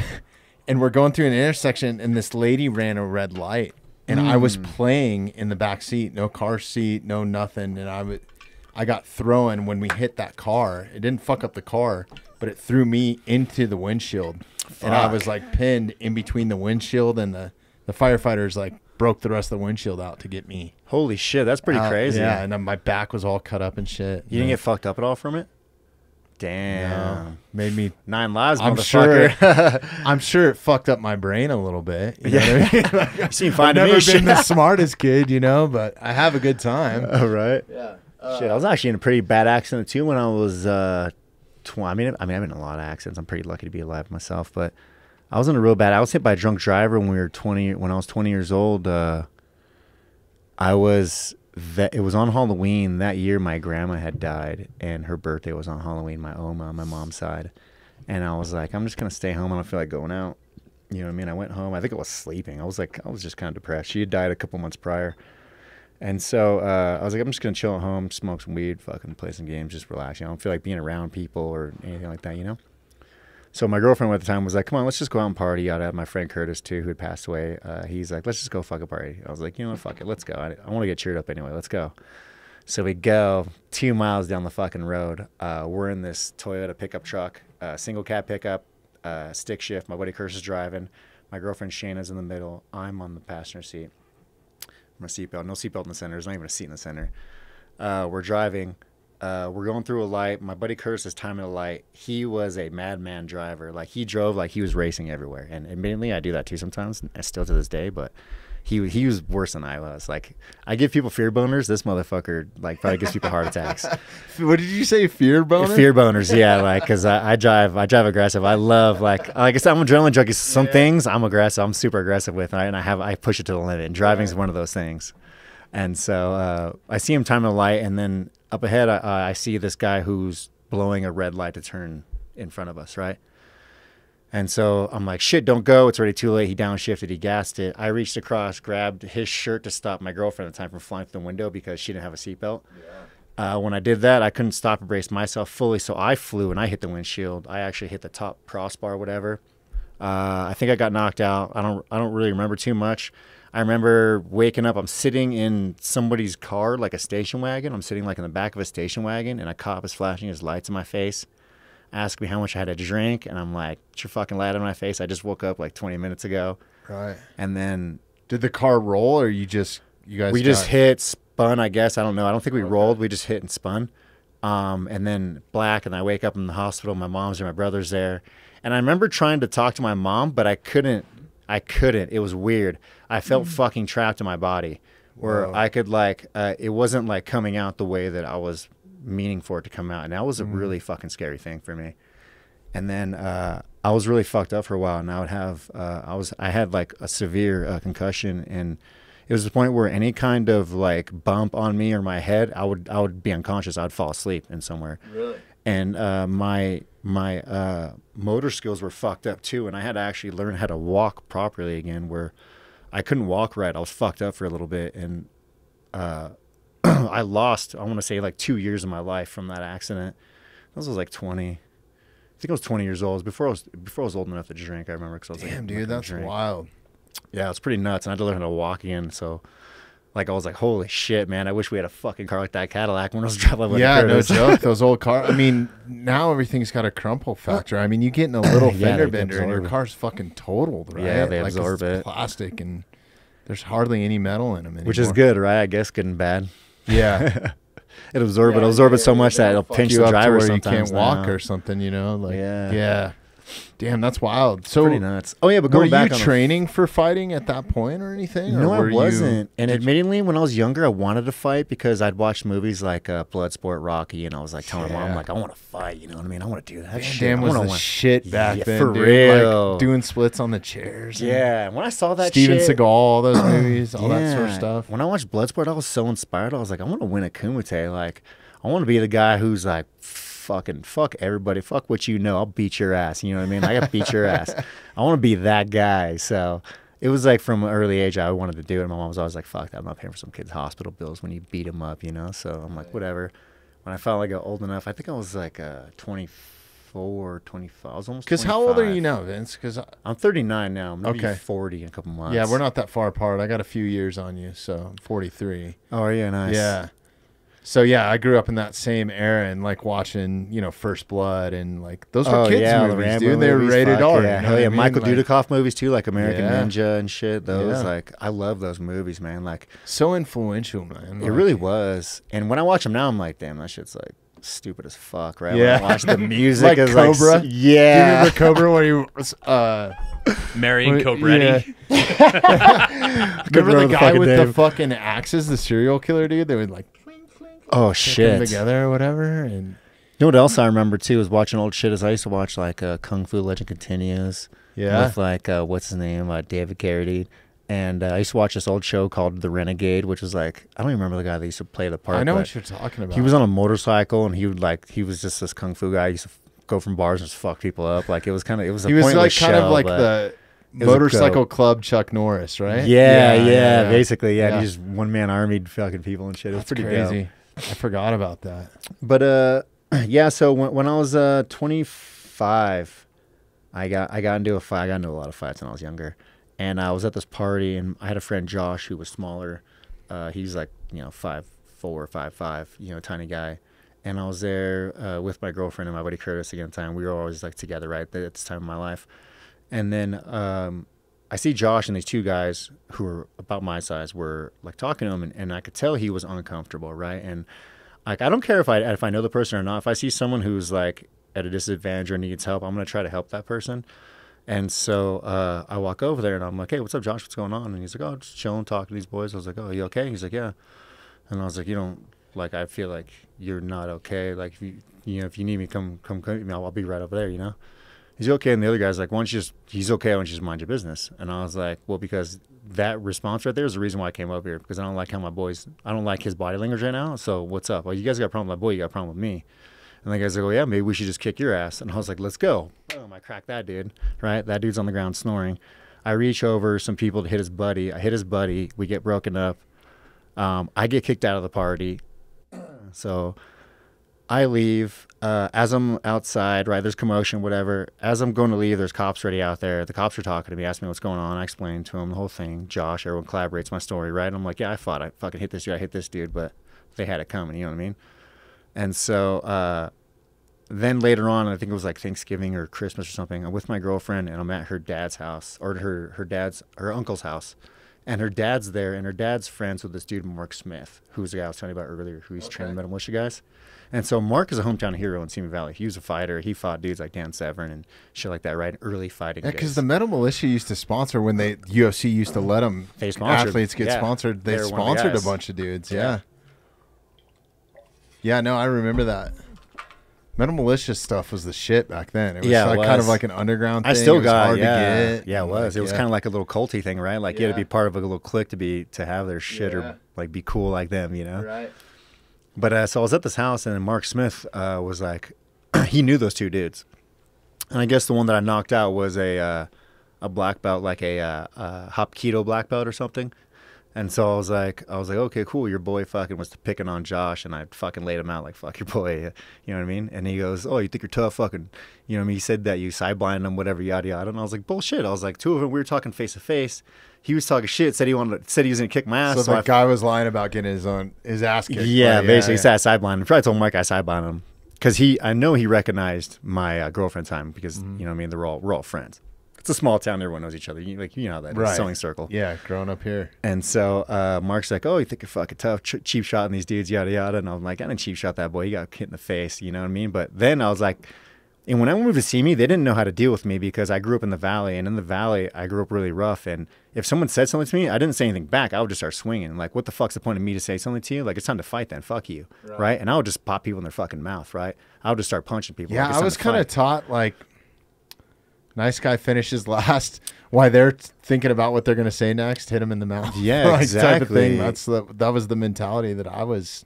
Yeah, and and, and I was like, I, I was taught the same thing, but I was also taught to gauge it, right? So, like, Yeah. for instance, if someone's I wasn't. yeah, if someone's just talking shit to you and whatever, that's one thing. But if someone's being aggressive and, and Right. the situation's different, then you know you take care of your shit. And so that's what I did. And then Mark's like, "Oh, you go to a gym, fight some real fighters. Let's see how tough you really are." So I was like, "Fuck, tell me where to go."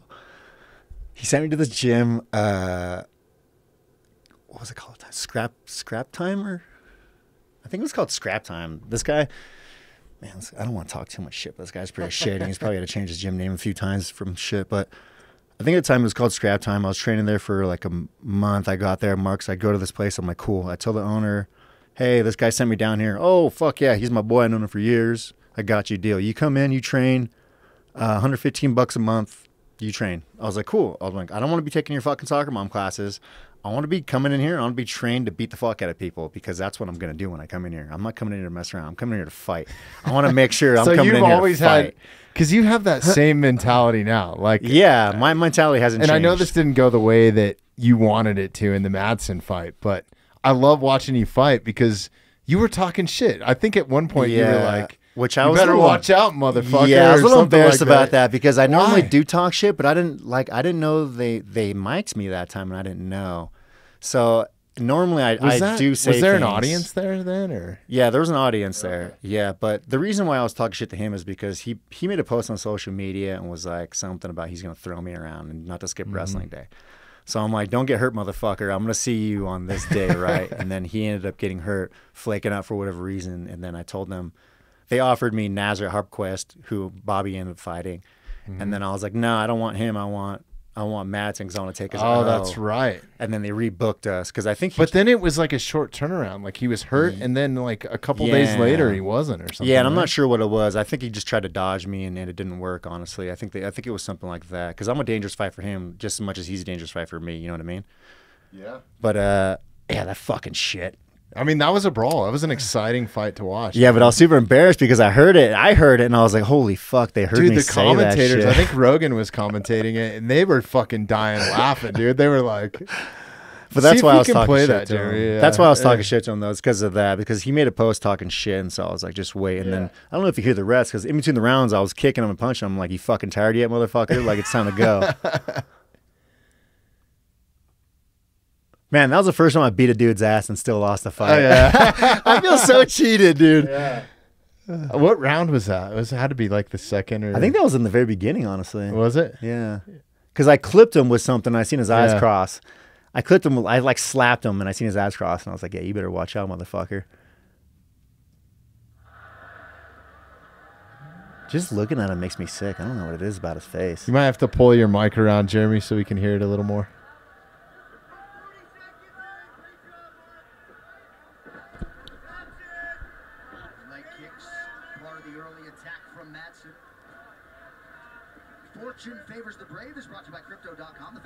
Where was it? platform in the world. Download now.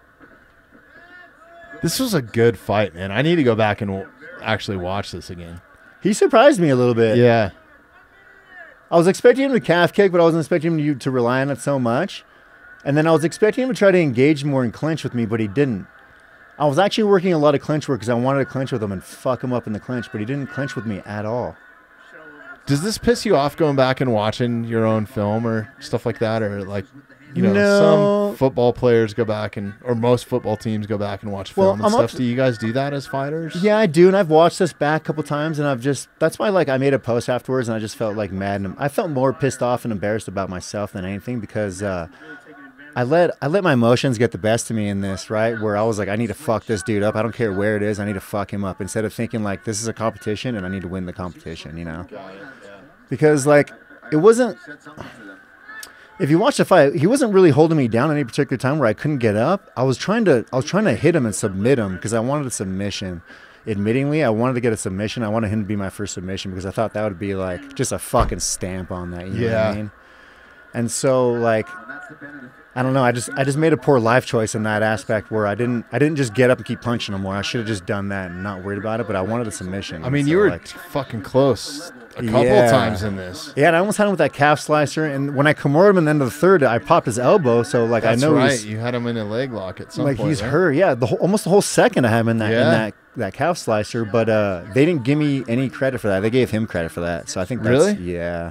They didn't give me any submission attempts, and I didn't get any credit for that second round at all for my uh, control time. Oh, man, that is one thing that frustrates me. Oh yeah, I was right there. yeah, I was right. Uh, that was that right play hand. I slapped him with that right hand. I seen his eyes cross. listen crossed. to the commentators.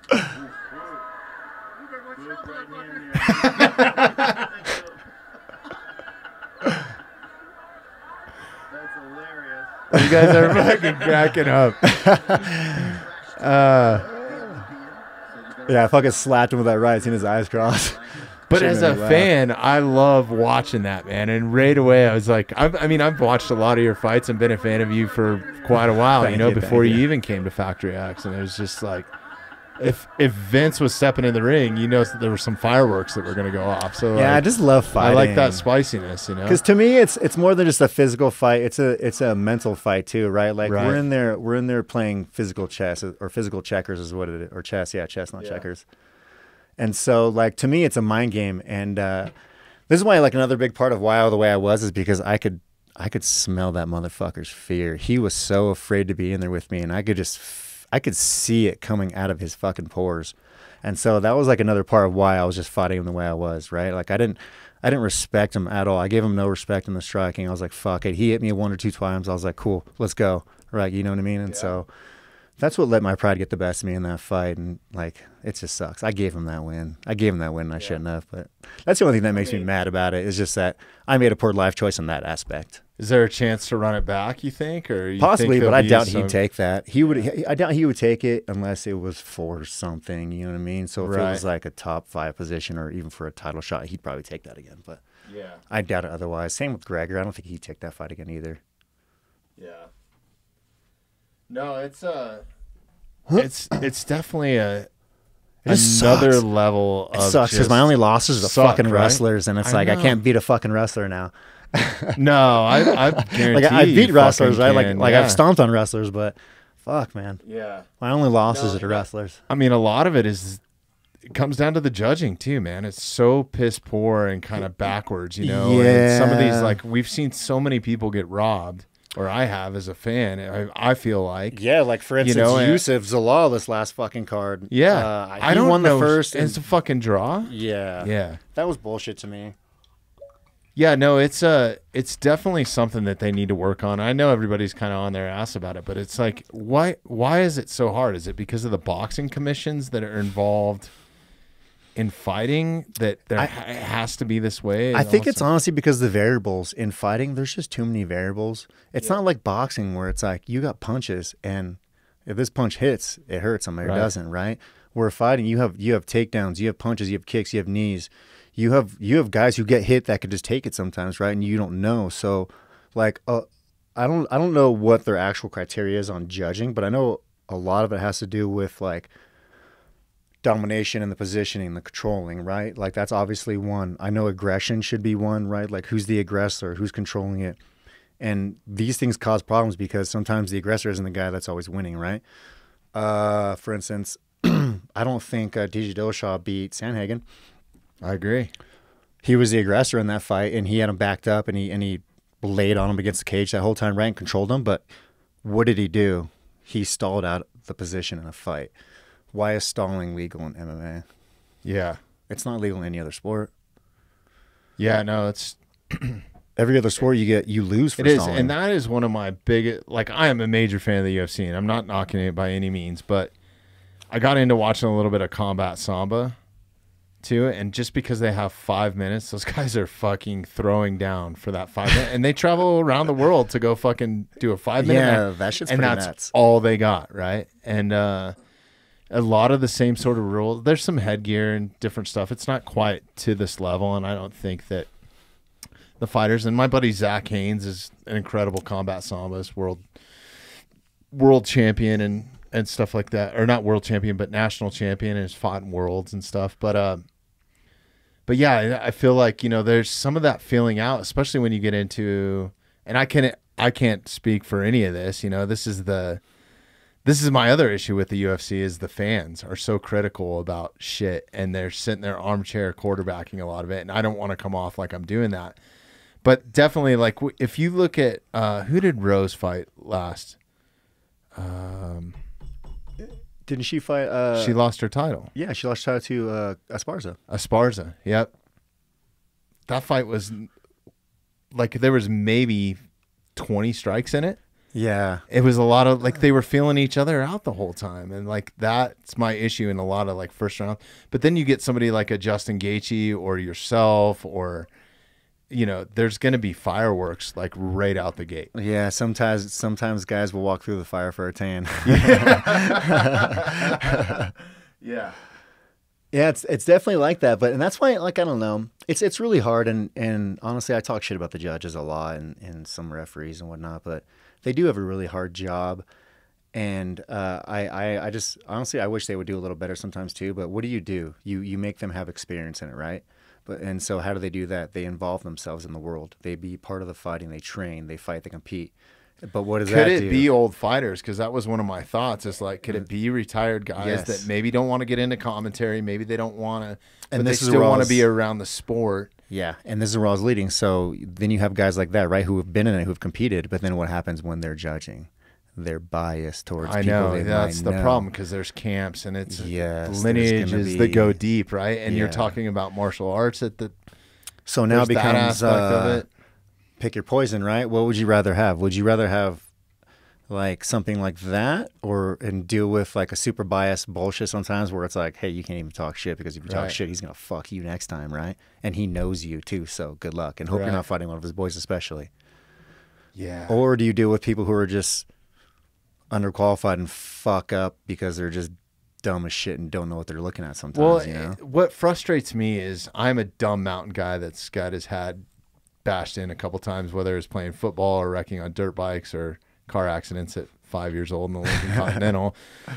You know, I'm not the s- sharpest guy out there, but I have fucking common sense. And when I'm sitting on my couch watching fucking a fight go that's totally one sided and it goes to a decision the opposite direction, Yeah. that's frustrating mm. because I, I mean, I know a little bit about fighting, but I'm no It really professional. is. Like I don't train. You know, I roll a little jujitsu here or there, but that's And that's why people, I think, it. like striking more because you can't really do that in striking. Like, you, Right. you have to throw, you have to go, right? And that's why I like striking because that's like the purest form of, of reality, of truth. Right? Let's see who who really has more, and you're gonna find out who, right? Like you can't lie about that kind that stand up game is no joke. yeah, dude. and that's why I Yeah. love fighting too, is because you can't lie about fighting. Like you're gonna find out the truth. Like the truth is gonna come out right there.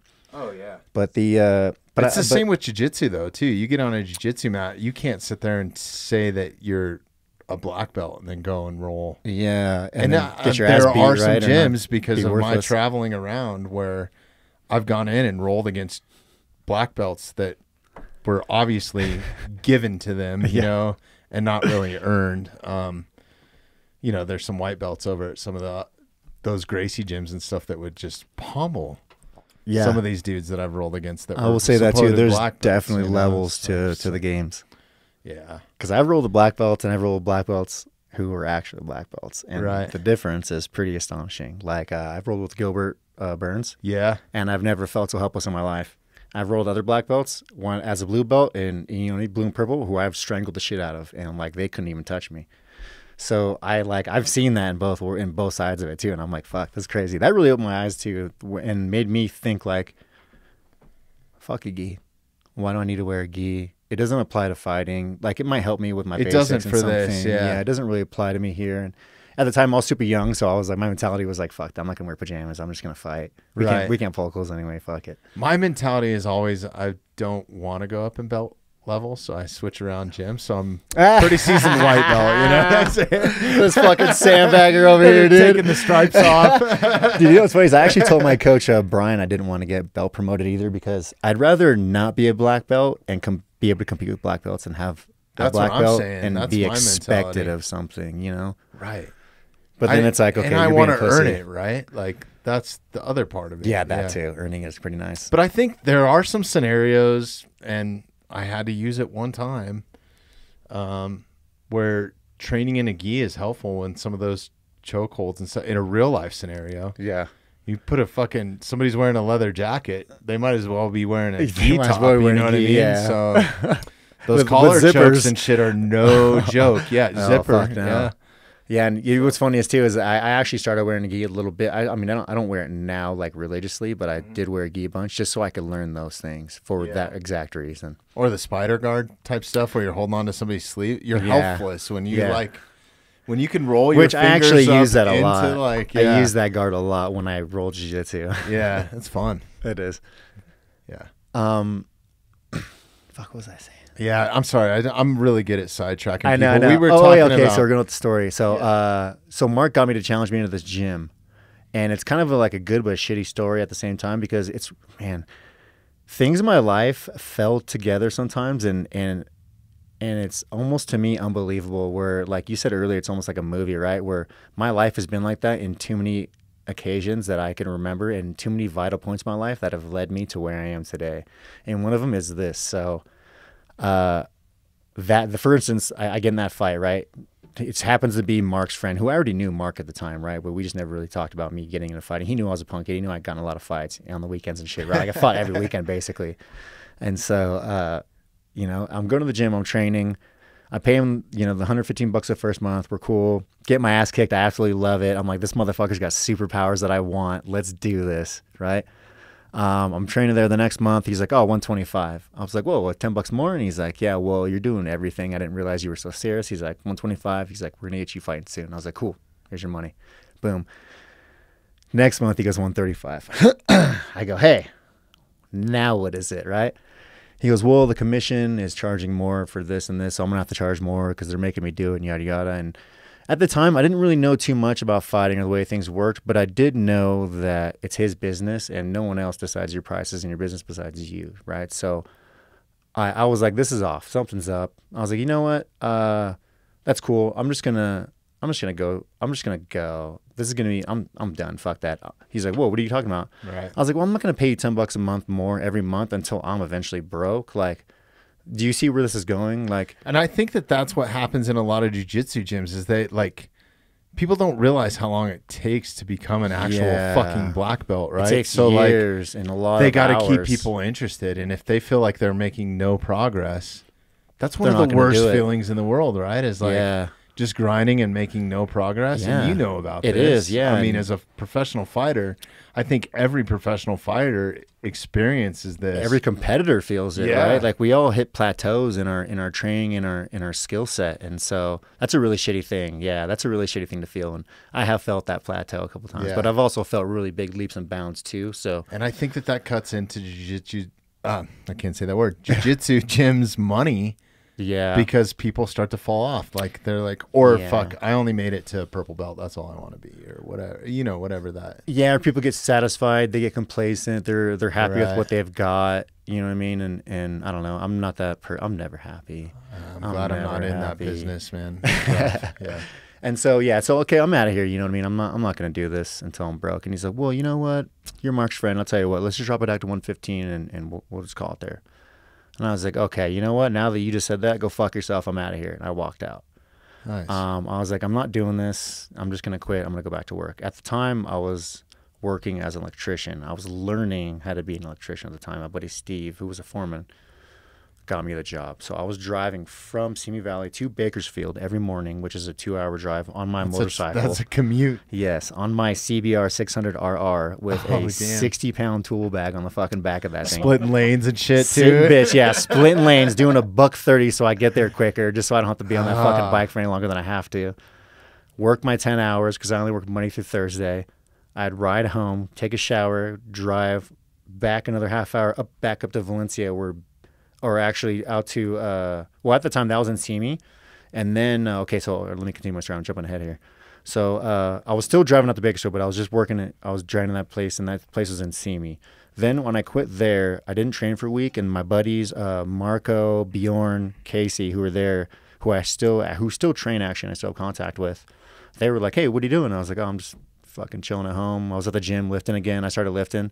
Before I started training too, I was uh, lifting, and I was big. I was like almost 200 pounds, just jacked, right? you Just- were 200 pounds? Yeah, I was a beefy motherfucker. What do you walk around at now? Like 160? One No, I'm pretty light now. I'm like mid Because your division's 70s. 155? Yeah, right? 55. I'm Yeah. like mid 70s, low 80s right Okay, now. yeah, that makes sense. But back home in California, I was like 90, low 90s. Wow. I was like between 85 and 95 was my typical weight. And once I moved out here, I got really light at first where I was below 70. And I was like, fuck, I think I have cancer or something. I was telling coach, The like, something's wrong man, with me. Yeah, yeah. Like, what is this? And he's like, no, it's just the altitude. It's just this. Your body will adjust and you'll eventually start to gain your weight back. And which I am, right? I'm gaining my weight back, but I haven't gained back to where I normally am, which I'm not too be- pissed off about because my weight cuts have been easy. And they do not get easier over time. Right. they get harder. They fucking suck. And I that's the only thing about Oh, fighting. I know like about the that. cut. Just in age, I can imagine. And then the amount that you guys have to cut, you know, Yeah. is fucking insane. So I'll give you an example. When I fought Anthony Njokuani, Mhm. I wore a weighted vest for that fight, the whole training camp, just so I'd be a beefcake for that fight.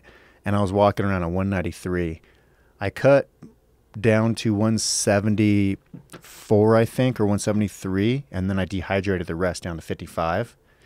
And the next day when I fought Anthony Njokuani, I was 189 pounds. I posted a photo on my Instagram of me the next morning before I ate breakfast, 189 pounds. That is wild. Does that just fucking wreck you, like energy wise, or do you? Honestly, no. I felt like a fucking shithouse, bro. Really? Like, yeah, I felt so strong. And back then, we were allowed IV bags too, so I had two IV bags. They don't allow that now. They don't allow it now. No, they took. they Really? took- yeah, they took IVs away. They took it away a couple years ago. Why? Because people were putting other shit in them, or was it? Well, I think a little bit of that, but also I think uh, guys were relying on them too much, and so we were having a lot of bad weight cuts. People were going to the hospital and almost fucking dying. Right, their organs were shutting down, and I, I think that's because they were relying too much on that on that uh, IV bag afterwards to get them back, and they were cutting too much weight and It taking themselves into that danger world zone. of difference, dude. I would get one every week if I Dude. could afford it. I'll tell you what, when I when I cut that Especially you start throwing some vitamins in there, or Oh, that fuck yeah. NAD shit. oh Fuck. shit, yeah, some Holy BCAs in there, all yeah. that, some some bees, some bees in there. Fuck yeah, you'd be jacked. But uh, I remember feeling like absolute dog shit when I cut that weight for Njokuani, and my I felt like I was underwater, like my uh, senses were fucked. I cut weight, I get through it. I'm sitting in the hotel room, I get the IV bag, and five minutes later, I'm like, sweet fucking nectar. I felt so good. I, and that was the first time I ever IV bag too. And uh, I felt so good. I was like fucking Superman. I was like, let me get another one. Hook that shit to my veins, right? Hook me up. And so the nurse was like, fuck yeah, boom. I had one in each arm. We were just plugged. They were squeezing the bags. I was like, fuck yeah. I'm eating my peanut butter jellies with my goldfish and my fucking Yeah. Cheez-Its, getting my weight back up, you know? Oh, man, that was nice. That's awesome. That was a good wake when up. I had COVID, I had called up uh, my buddy Gunner at Rocky Mountain IV. Shout out to those guys, man. They were awesome. Oh, they came up yeah. and they were lacing me up here. And I was Oh, like, dude, shit. I got COVID, you know? So he's like, I'll just come to your house. So I was like, well, meet No me worries, at the we're good. Yeah, meet me at the stu- No, he literally just showed up. He's like, whatever, dude. I'm around all the time. He's like, yeah, I recommend this, this, and that. I mean, he had a whole little. It was like the drug dealer, you know. He was like, yeah, I would stack this one like getting pill Billy, you know. But I through an IV bag, and it was like, yeah, I recommend stacking this with this and that. And I called Jeremy like. I don't know. An hour later, I was like, "Dude, I feel better than I did before I had fucking COVID." Like, Yeah, you right? know, like, He's like, you need to get in on this. No. How much you sell these things for? yeah, no, it's Can you drink expensive, 'em? dude. There was like five hundred dollars or some shit. Yeah. dude. like you start getting into those NADs and all that. I used to have a buddy that was a paramedic. He used to just snag them. Yeah, They were yeah, so man. nice. that- that's it makes a world of difference. And you know what's crazy is I was dealing with uh, plantar fasciitis for a while. I Oh don't know if shit! you've ever had yeah, that. I It know. I've never sucks, had it, but I've know people that sucks. have. It's not debilitating, but it's just the constant pain in that foot. Yeah, Yeah, and the dick. and the Uh, but uh, it crazy. I got. I think I had three IVs in the matter of like ten days or something, damn. and it went away. Holy shit. I don't know if it was just a coincidence from me not training because I had COVID and was just kind of taking it easy, or I mean, COVID. I'll, I'll be I'll be honest. Admittedly, when COVID first came out, I was worried. I was like, "Fuck, that sounds really bad." And if I get it, I'm just gonna fucking off myself because fuck, I ain't going out like that. You know I what I mean? there's a lot of people that fucking did, man. Yeah, I think so too. But then as the numbers came out, I was like, "Oh, it's really not that bad. It's like no worse." Than Dude, when I got it, it was like nothing. yeah, and and And I was overweight then too, man. Like, Oh, were pretty you? bad, yeah. shit. See, I uh I infected myself. I chickenpox partied myself. Did you? it. Yeah, because fucking why not? Because after a while, I started like I was just like, you know what? Like I'm just gonna I'm just gonna bite the bullet. I have a really good immune system too. Like I'm one of those people that Yeah. rarely get and you're in fighter shape. I mean, so yeah, and I'm in really good shape. I take care of myself, right? And so. I don't know. In my eyes, when I see these pieces of shit like at the CDC who are turds that don't take care of themselves, trying to tell me how to live my life, I'm like, Right. go fuck yourself, right? So, I uh, I infected myself with it. I got sick. I wasn't really that bad. I had a pretty gnarly headache for like two, three days. Um, I didn't have really bad coughing. It was like mildly there. Uh, I lost my taste and my smell. That didn't. That took a I while did lose my taste, but it's back now. For the longest time, I used to drink coffee like crazy, Just and I was know. like, "Dude, this is like fucking hot water," and I'm like making it stronger, and I'd be like shaking from all the fucking Oh, caffeine, fuck. but I couldn't taste the coffee. You know? Oh shit! Yeah, I think I. I think I got mine back in like six to eight months. I think it took for my yeah, it smell, my taste to come back. It took for mine to come back. But then I was like, no big deal. And then uh, my mom had it after that, and I went to visit her and try to infect myself again. I didn't even get it. I didn't get sick at all. I had no. I've been symptoms, so around it like, a bunch it. since I've had it, and it's like, Yeah, me too. And that's why I was like, you know what? Like, I'm just gonna risk it because I'm like, I'm not the kind of guy Herd immunity, plays safe man, really like, anyway. yeah. Yeah. and like, if I'm honest, like, without being too braggy, like, I'm one of those herd immunity guys that will, like, you know what I mean, get it and dumb it down for everybody else. So Yeah. like, I'm more than willing to fucking do that. You know? no, it makes it makes much more sense than fucking living your life in a cave, you know, and Yeah, I've- hide from everybody because I've just never been that way. I know people that are going through that. You know, Yeah, I do and I have family members that are immune compromised and scared to death, and then they got it, and they got those monoclonal antibodies and breezed through it like it was fucking nothing. Yeah.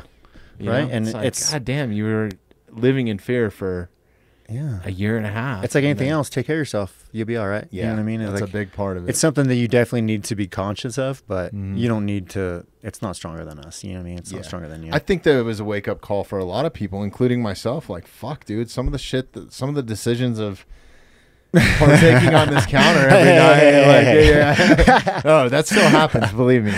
But like, yeah, it, it definitely was an eye opener, and Yeah, our, you our number one threat in in I mean not right now, but our number one threat used to be our diet. Honestly, like yeah, um, heart it disease still is, for me, dude. I struggle so fucking bad. I just went through, a, honestly, a life changing 140 days that I'm now on this diet. You didn't have like a fucking heart attack or something, did you? No, uh, well, that was my biggest fear. Is heart disease runs in my family. I'm 60% Ah. Italian, and I don't know about you being Italian, but my metabolism is like fucking slowed way down. And I used to be super active, and even, you know, if I ate pizza or something like I, that, I worry don't about that myself. You know, it was like constant. Like I could just gain weight. Well, it got to a point where I was going to jujitsu a couple times a week. I'm in the backcountry all the time. I'm a bow hunter. I was training for that in the summer. In the summer, I'd drop some weight, but I just was progressively like every year of my life was going up another 10 pounds, and but my activity was staying the same. So I think it's just getting older and body starting to slow down and stuff. And I was like, fuck, this isn't working. And I so I tried like Well, a let, let me- ketogenic let me, let me ask you this diet real quick. all this Uh, crazy did you shit. did you ever like take a step back and wonder? So this is what I've done too, and, and I've I've noticed this, and I've only done it through taking a step back and, and realizing my own actions. But do you feel like it's just because you're getting older and and you're just gaining that weight, or do you feel like it's because you're getting older and you're doing things a little differently, right? It's because of that. It's not because of the activity. Because I feel like I put more activity out. But obviously, being a father, you know, taking a step back when the kids go to ice cream or whatever, you Yeah, know, yeah, you're you there do that with them, too, yeah. right? So it's like, Can't be the only ones eating ice cream, damn it. yeah. and my daughter's trying to talk me off a cliff. So I've been on the carnivore diet for oh, have you? yeah, hundred and some. I've dropped sixty pounds. dude, Nice. How and, you been feeling? fu- fucking great. So I know this guy Jake who actually uh, works at Barwis. He's a, a PT over at Barwis. Shout out to Mhm. Barwis. Uh, and he's he's just started on that too, and he's got psoriasis and stuff, and it's actually helped him a lot feel a lot I better. know it's got rid of that. autoimmune and a bunch of Yeah. skin. Like I had uh, nothing really major skin wise, but I noticed my skin is cleared up. Like my reaction time, I'm definitely the first month, dude. I was ready to fucking kill somebody, bro. Like I'm a little bit more spicy. I'm not afraid to. You know, I'm not afraid to do to say certain things sometimes that I catch myself. You know, like Yeah. almost like I I, never really did roids or anything like that, but like you know, you catch yourself when you're on some of those supplements. You know, you're Yeah. like ah, what am I doing? You know, I'm in a mood right now, aren't yeah, I? yeah, yeah. So, so yeah, and it, it's definitely it was it was hard at first, but it's I feel fucking great. Um, my I was on blood pressure uh blood pressure medication. That's what Oh, first shit. like spiked it. It was like, okay, wait a minute, I got pretty good cardio. I wasn't like yeah. you know, when, but when they want to when they want to put that- you on things for a lifetime, Yeah. that's a different story. and I think some of that 60 pounds has definitely been some muscle mass too. So I will say that that like it. Well, that's okay. That kind of comes yeah, with it too. You know, that's just part of it, and that's not a bad thing. No, it's not. I feel better, and I've uh, just went in and got a bunch of blood work done. I got SpectraCell. Actually, shout out to Marc Montoya for kind of turning me on to some stuff. I Oh, was nice. like, I called him up. I was like, dude, I've dropped a bunch of weight. I'm on this crazy diet, and I want to make sure that a I'm taking care of myself and I'm not fucking myself up long term. So I got some awesome doctors that have been helping me out. I just got a bunch of blood work. I'm waiting for that to come back, and I'm not selling it to everybody just yet. You ever watch out that 23 and Me out- yeah, motherfuckers yeah, probably slinging all kinds of DNA right now. right. Yeah. So uh, I got to see what's up, but uh, yeah, if, if it's fucking work, dude, I feel good. Man, that's good. Good strong, for you, man. I'm glad. yeah. That's good. That's good to hear. it's That's been good to good, hear. man. It's good. I needed to do something. Yeah. Uh, it was a drastic step, but like, I don't know. It, for me, Happiness. honestly, the best part of it, aside from losing all the weight and stuff, is just having the mental uh, discipline to not fucking touch a potato chip or a fucking, you know, yeah. even like my daughter, I bet you feel a lot better, "Oh, too, taste like, this ice cream." mentally and like, physically no, baby, stuff." you know, like steak and element slushies is it. That's all I've eaten for fucking. Oh damn! Yeah. Element slashes, you Dude, savage. Those actually, things are that good. is huh? one thing. If you're considering doing it, you got to watch your salt intake to make sure that you're actually getting salt, because in your everyday food, there's plenty of salt to get by, but without it, Well, uh, what that meats are you one thing. eating? What meats are you eating? Uh, I you mean, fish, like fish and chicken, or no? Just really red meat mainly. The wildest fucking thing. So when I first started it, I was eating it like a savage, dude. Fucking bacon and and chicken and steak, and I have a bunch of wild game, so I was eating a lot of that. And then I kind of, I, I consider it more of a than the carnivore diet an elimination diet. So once I get the SpectraCell blood work back, it tells you vitamin deficiencies and Ah. nutrient defici- deficiencies, and I'm hoping that I can add some like fruits and some of that kind of back in to Okay. kind of counter. Did you just take one of those tests? Uh, I just did, yeah. Okay, so let me let me give you a little uh, insight on on my Okay. thought process in those tests. I like those tests because they give you that stuff, but uh, I don't like that they just take one test. So Mhm. uh, it's just that one test. You know, okay, when you get that test back, they're gonna say, okay, you're low on this, this, and this, and this, and this. You're Right. good on this, this, this, this. So let's say you take another test. That test is gonna come out completely different than what that is because you don't really have a guideline or a base.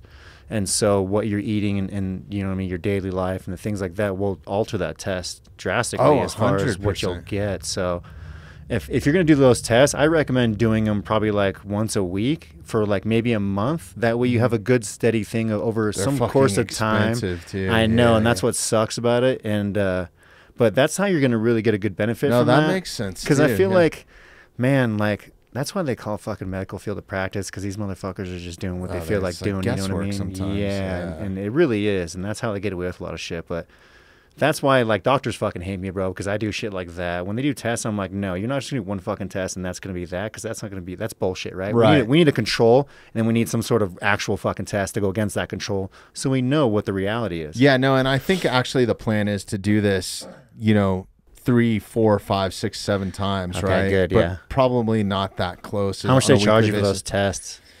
Luckily, I got somebody hooking me up. Oh, do you? so, okay, yeah, or maybe even cool. once a month. But you know what I'm, you know what I'm saying? Though, It's a Just like doctor that actually has choked me out a couple times. So Oh, for- a oh, I think I know who he is. He's a badass dude. uh, yeah, he's a good guy. I think Um, is. like, well, that's cool. Yeah. Uh, but anyways, we're fucking working on on that, and I think that that's one thing is like I've been eating. Well, I found out that like okay, if I eat fish, I don't feel as satisfied or as good. If I eat beefsteak, I feel fucking great. Yeah. If I eat pork, I don't feel that good. If I eat chicken, it's good, but I'm not satisfied, right? And then like That's funny. Oh, that. if I have a ribeye as opposed to a fillet, I have way more energy when I eat a ribeye. So it was kind of an elimination like type thing, like yeah. and figuring out how my body reacts to it. And when you look at food as fuel as opposed to pleasure, it's totally different, right? Because I, I, luckily the doctor Shawn Baker that I was working with was like, pay attention to what makes you feel good and what doesn't. So he's like, I'm not saying you have to stay on the carnivore diet. Everybody's body's different. Yeah. Everybody works a little bit different. But then when I noticed a drastic jump, if I eat elk or deer, it's tenfold. I feel way better than I do when I eat a beefsteak. So well, like- also too when you're eating that, you're eating hunted game, right? Not Yeah. just store bought shit. Yeah. So that's also like better meat, obviously too. So that's probably a big part of it as well. I and I got some awesome beef suppliers here too. Like Colorado Craft Beef is awesome. Oh, nice. They're right here, and it's like a local. Ra- you can go to his fucking ranch and Oh, get sick. you, you can get like a half a cow. I heard mean- there's a restaurant out here that actually uh, serves wild game meat. Oh Like, yeah, there is. There's a couple of them. The problem with that though, and I I'm not speaking for these ones. No, a lot of that wild game meat that you buy in the store comes from like New Zealand or something. So it's Oh, fucking is been it? killed, butchered, then you know ah. shipped all the way across. Maybe they Same were shit. farm raised. You know, like Yeah. to me, there's no better way to get your meat than Hunting, hunting it. Yeah. Yeah, that's just my. And that was actually a big thing why I wanted to come out here too. And like another another perk of me moving out here is to do that. And I actually just got my hunting license. Oh, I got I got my rifle in the car. I'm gonna go zero my scope, right? Like I'm gonna go. I wanted, that's why I asked you about a shooting range. Did you draw any uh, big game tags? or No, not yet. I'm Just gonna gonna go over the yet. counter. Yeah, I, Yeah, I just got the thing. I have I have a small game, so I could shoot like uh, Dude, if you need any help, like on how the system works or trying Yeah, to figure totally, it dude, out, totally. like Marc's a fucking great guy. Yeah, and I hit him up too because I want to go hunting He's a with savage. him. Yeah, see he the goes bull hunting he all the killed time. last year? Dude, he's a savage. I know. Awesome. And I want to go. I want to get a bow too, so I go bow hunting. yeah, Um, that's what like- I'm into. I don't actually don't hunt with a rifle. Oh, you don't? bow. Yeah, Yeah, so I I- want. I want to do both because I want to go bear hunting too. Yeah. And I don't know. I don't know if I trust a bow to go bear hunting with. Right? I don't. well, the thing about a bow is it's just like it's like a martial art. You have to put in time. yeah. You have to get good at it. Get and it, it depends skill. on there's multiple different ways that you can go. You can go traditional, which is like super primitive. You can go straight primitive like Donnie does. but. I I choose the latter to shoot a compound because I still travel. I can't travel everywhere with my bow. But you have to put in reps, man. You have to train. You have to Yeah. Yeah. Put in that and I actually uh that's like one of the things that I focus on now as like my main thing is just bow shooting my bow is like it's That's good tight. mentally. But yeah, dude, let's go shoot. I I'll take you down to a range. They'll Shit, set you up with a a bow and you know, like I've taken Jeremy down. He doesn't own one, and they'll give you one off the shelf and kind of let you try it Oh, out or let you try 'em rent out. it. Yeah. Hell Did, yeah. did we rent at No Limits? How did we do that? Yeah, we rented one, and um, They set you up to your draw length. It's a nice bow, all that great. sort of stuff. And no, it was a Oh, great that's cool they set experience. up It was for just, you, yeah. it was just it was just fun going. Uh, first time, never done it before. It's fucking Hell yeah. addictive, It bro. was- like, it was Yeah, I super led fun. it. I I'm only did archery one, one or two times, and it was when I was like in summer camps or shit like that. Right? That's the only Yeah. time I've ever really got to shoot and a that's bow. totally different because that's Yeah, like it's the not the same. traditional. And that, the- I'm not knocking that, but I prefer to shoot a compound because it's a bit more. It's easier to control. Yeah. right? and I enjoy. I enjoy it more than hunting, and I get bashed for this all the time for saying this, but I'm being fucking truthful, people. I enjoy shooting foam targets more than I enjoy hunting because I'm not really like a trophy hunter. I'm definitely Ah, a meat hunter, and I enjoy the process of it. you just like But shooting. I huh? have so much fun, man. We go to this uh, these 3D courses, and it's 3D foam animals that are set up in the trees like they would be in real scenarios, and some of them are shots are like off of cliffs, and Dang, that's um, pretty cool. there'll be mountain goats and grizzly bears and black bears, and so it's kind of the full size bison and moose, caribou. And you're shooting through trees and it's uneven terrain That's pretty dope. and you kind of score it like golf. so it's it's a lot of fun to go out with a buddy and They have like little targets on them. You want to like hit them in the lung or yeah so they have they score it different ways and there's different associations that score it different ways but they have vital signs as part of the target. And if you hit it in the heart you basically get 12 points. If you hit it in the a little outside the heart uh, kind of liver type areas that's 10 if you hit it anywhere in the vitals that's an 8 and then if you hit it in the body it's a 5 and a miss is a 0 so you go through the course and you shoot you know 20 targets you're looking for Damn, you know a pretty cool. 240 right would be your best score yeah. so like if you shoot a 200 it's pretty good and like some of the shots are way out there uh, mark's been talking about coming out with me to american bowman It's an indoor. yeah. It's an indoor place. no it's, Oh, it's outdoor? outdoor. it's 50 acres Oh, it's shit. private um, Damn, that's pretty awesome. yeah it's awesome there's 40 targets I want to go do that. they have 40 plus targets sounds actually. fun. That sounds like a lot of I've been fun. trying to get Jeremy to come out too, so I want everybody to come out. But but yeah, dude, let's go do it. We'll do I'm it down. for I'm sure. down. man. I'm it's, so down. It's fun. It's addictive. You're gonna spend a little bit of money getting set up, but That's cool. it's worth it, man. Everything costs money. You shit. can you can go down and retrieve your arrows. You, you don't have to. Oh, really? you know, buy more bullets. it's not like a can shoot 'em golf multi- range. Well, Well, shoot them out there. And like, I hey, take don't that back. You start going up to that American Bowman. They set up like a mountain goat behind a rock face. So like if you miss the target, Oh, your arrow's fucked, you know, and like Eh, you can spend up to like you know twenty bucks an arrow if you wanted to. I think mine are about fifteen or fifteen bucks Yeah, a piece or something. so yeah, arrows, you're like that place. fuck, dude, and like, or once you get to like start shooting really good and with a compound, you can really dial it in to where you actually Robin Hood an arrow. So it's where Oh, one arrow goes it? into the back of it, and at first, the first couple, like I was like, oh sweet, I, like hung it on the That's- wall. that's but once it happens a couple times, you're like, fuck. There goes fifteen bucks, you know, like.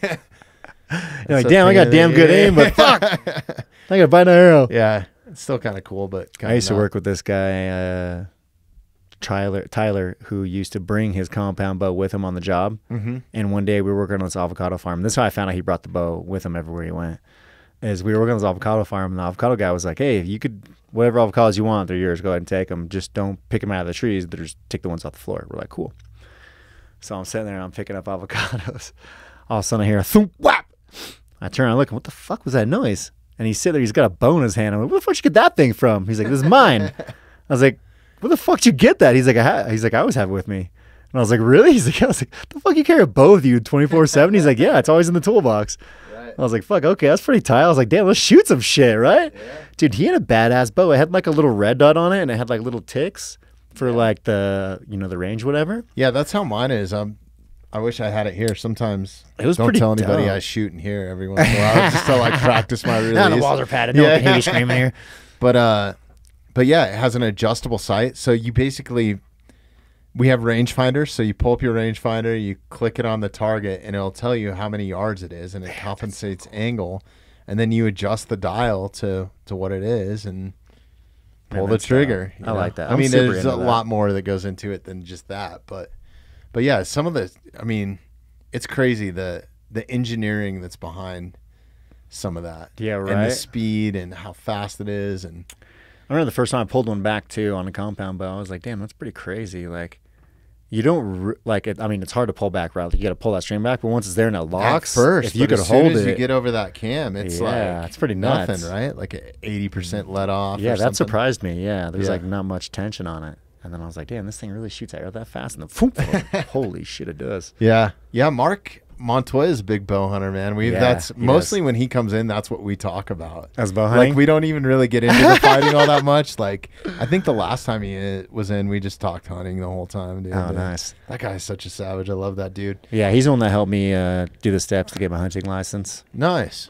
Yeah, So it's I uh, just got my fishing license too, because I'm like super outdoorsy, so I'm like solely into that. I just Yeah. bought a bunch of hiking gear and shit, so I could like live in the I could live in the woods for a week if I wanted to right That's now. fucking Because I have all my shit ready to go. it's uh, there's something about connecting with nature. yeah, for sure, right? And uh, I think living in a spot like this, there's so many places to fucking do it, Yeah, and I love that and because we have so much public land. Like Yeah, California is a great spot for that too. If you live, yeah, you gotta somewhere drive to by, some like- mountains. Like- There's not very many mountains. yeah, from I think we um, got Whitney's like the biggest mountain. That you can from get to. Lancaster, I mean, you could be in Mammoth at like what three hours, something like that? yeah, that? three four hours. That's fucking incredible. yeah, that there. wasn't too bad. And then Yeah. Mammoth's beautiful too, and that's like awesome snow. Because Yeah. other than that, we have Mountain High, and Mountain High is like that shitty ass man-made snow where they're just squirting water in there and hope it freezes. You know? oh my god, that shit that just ices over as soon as it touches the ground. Right. Yeah. Oh, Colorado's another level. How are you liking uh, training at Factory X? I mean, that's a huge community down there, and Yeah. we love all the dudes that have come in. I mean, that's how you and I have made this connection. Yeah, I really love it, man. Like it I it just feels like home to me. It's really weird. I can't really explain it besides that. Like it's really tough, right? The guys are really gritty. It, it's a hard practice. Um, everything's organized and, and we just get after it. But I absolutely love it. I love the culture. I love the mentality of most of the guys. Um, I fit in really well with a lot of the guys, right? We all have the same mentality. We're all like really cool dudes, right? Like we're all killers, but we're all really cool fucking dudes. I, know, like to I just love dudes hang like out and do what we want to Dustin do. you know I mean? been in a couple times. Yeah, love especially that guy, Dustin, man. really He's laid back. Another savage. Yeah, and so You know, just it's like man, it's just I don't know. It's kind of just one of those situations where you just bring all these amazing people in one spot and it just works. You know what I mean? It's almost like the '90s Bulls team and shit, right? Yeah. Like it just it just works it's out. a little family down there. yeah, it it's a family. like, it's know. really nice, and and Marc and they've even really adopted me into it, you know, with like the coin and just d- d- different stuff like that. Just from Yeah. having guys on. I don't even train down there. Yeah, know, there's like, no uh, there's no uh there's no loss of love no matter who you are, you know I what I, know, mean? That's what I yeah. really loved about it too. And uh, I I just enjoyed that. It, it just like I said, it feels like home and I really loved it because in my the last few years of my fighting haven't felt like that. I've been uh, just roguing and going to gym to gym, right? And kind of just doing what I had to do to train are- and, and you've- survive. You've been in the UFC for a minute, right? Like, in a Yeah, since 2012, since I was on the Ultimate Fighter. wow, so ten years. 10 years yeah 10 years and then uh i was i started so i started off training at big john's Okay. damn i didn't even finish telling my story Yeah, I know.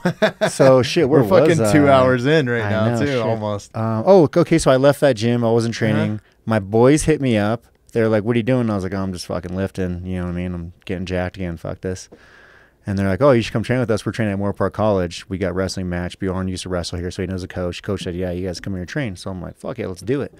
I went there for a couple weeks, started training, and then I was like, like anyone else, I was like, "This is kind of, I'm wasting my time. I want to fight. I want to beat the fuck out of people. But this, what we're doing right now, is just training with each other. We're just beating each other up. I want to like compete. I want to. I want to. I want to. I want to be better than everybody. I want to make sure that this is something that I'm good at.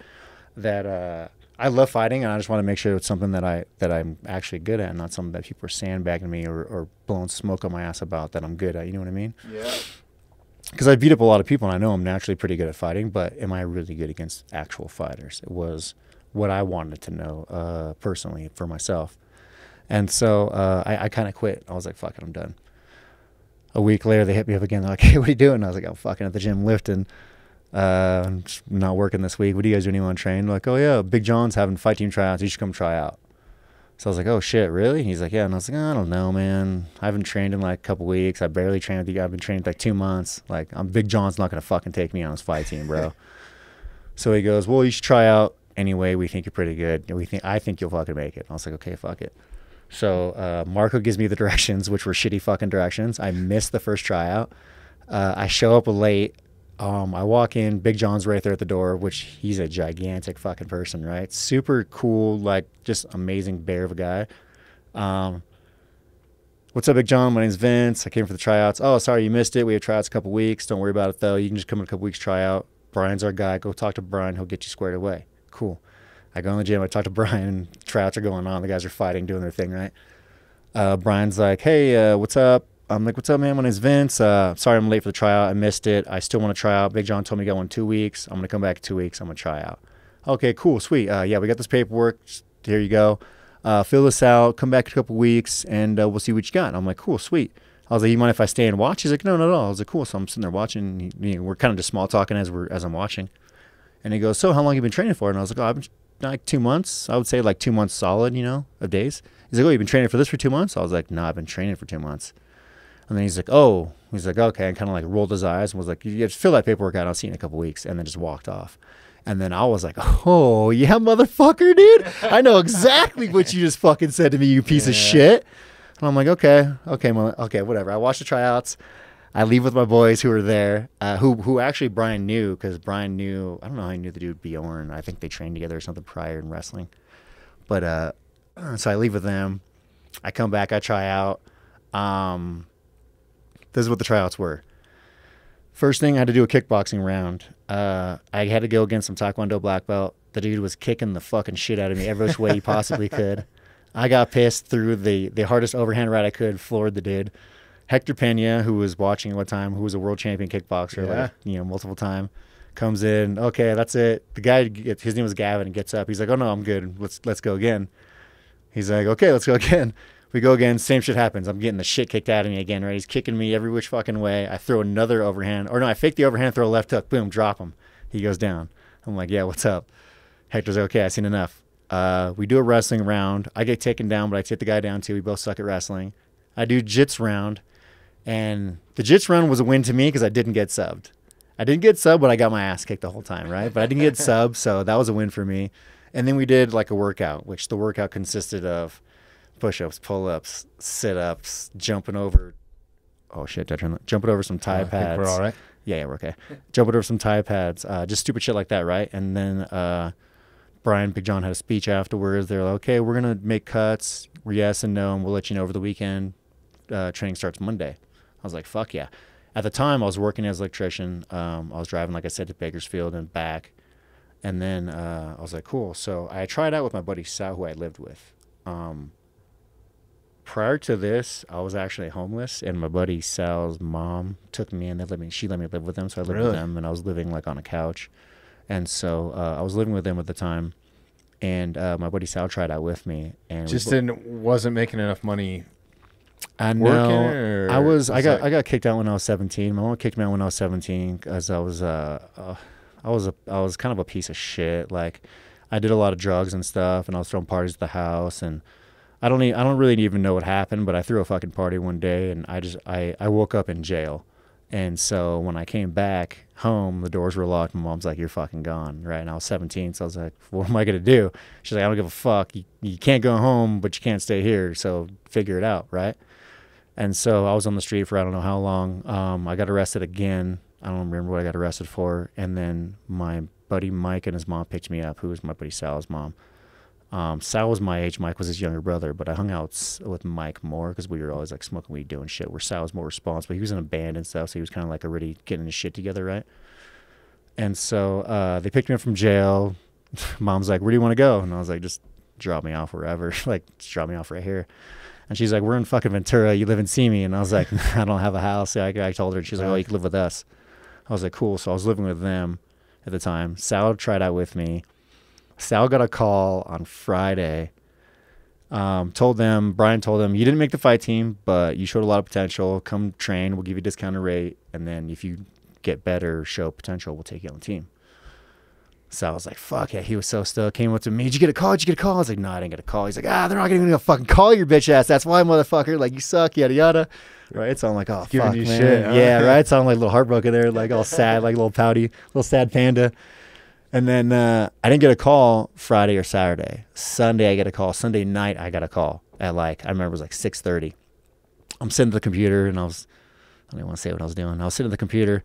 Uh, I wasn't watching porn. I wasn't watching porn. Was but I wasn't. around back then? I don't know. Oh, I think so. yeah. It probably was. But I wasn't watching porn, but I was definitely doing illegal shit on the computer that I shouldn't have been doing. But uh, I uh, I got a call from Brian. Brian calls me. He goes, "Hey, what's up? Uh, this is Brian from the fight team, Big John's. Uh, you want the good news or the bad news?" And I was like, "Shit, uh, give me the bad news and let's end on a good note." You know? He's like, "All right." He's like, "Well, bad news is uh, you don't have any training. You have no formal experience in fighting. You have no baseline. You have no you have nothing to start from. You're basically like an open book, right? We don't know if you're going to be able to take to this. We don't know if you're going to pick it up. We just don't know about you. He's like, we put you in the maybe pile. Um, you're a big risk. There's so many other people who have years of experience. You know what I mean? Why'd you try out? And so, like, I we talked to him for a minute, and I was like, listen, I just want to be a fighter. Like, I just want to test it and see. You know what I mean? My buddies told me it was a good opportunity to try out.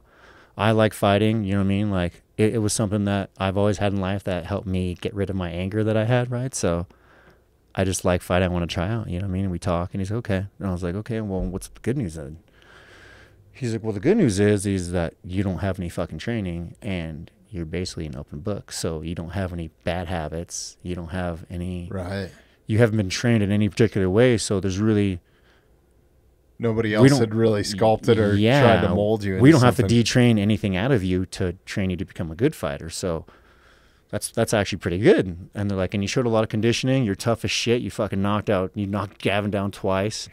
you didn't get submitted, and in the wrestling, you didn't do too well, but you didn't get your ass kicked really either. So we decided that we were going to take you out of the maybe pile and we put you in the yes pile. Congratulations, you made the fight team. And I was like, fuck yeah. Yeah, dude. where's my buddy at? Yeah, I got so excited. I'm like, Sal. He's like, what? I was like, made the fight team, bitch. I threw my fucking phone at Sal. I missed, broke my fucking phone. Shit. Brian's still on the phone. so I figured the phone. It still works, right? I was an old, uh, not even a flip phone. It was Nokia a, or yeah, it was a? Nokia. It was a Nokia. No, not we can throw those. It was a no. It wasn't a Nokia. It was after Nokia's. It was a Samsung, and it was like an old black and white one that was like just a brick, right? Yeah. But that phone was badass, and I remember that phone like it, like I remember that phone. That was my favorite phone still to this day because I could be in my car, blasting you know, like Pennywise or whatever as loud as I possibly could, and still yeah. have full blown conversation on my phone with that thing. with my iPhone, fuck no, bro. Yeah, if someone's can. farting next to me, I can't hear shit on that thing, dude. No. It's crazy. It's ridiculous. And so uh, yeah, and so I taught shit to Sal. 15 times as much probably yeah, yeah. stupid amounts. Oh I'm like god i just had to buy this piece of shit because i smashed my other one. But uh so i talk shit to sal. I'm like i made the fight team. What's up? You fucking suck.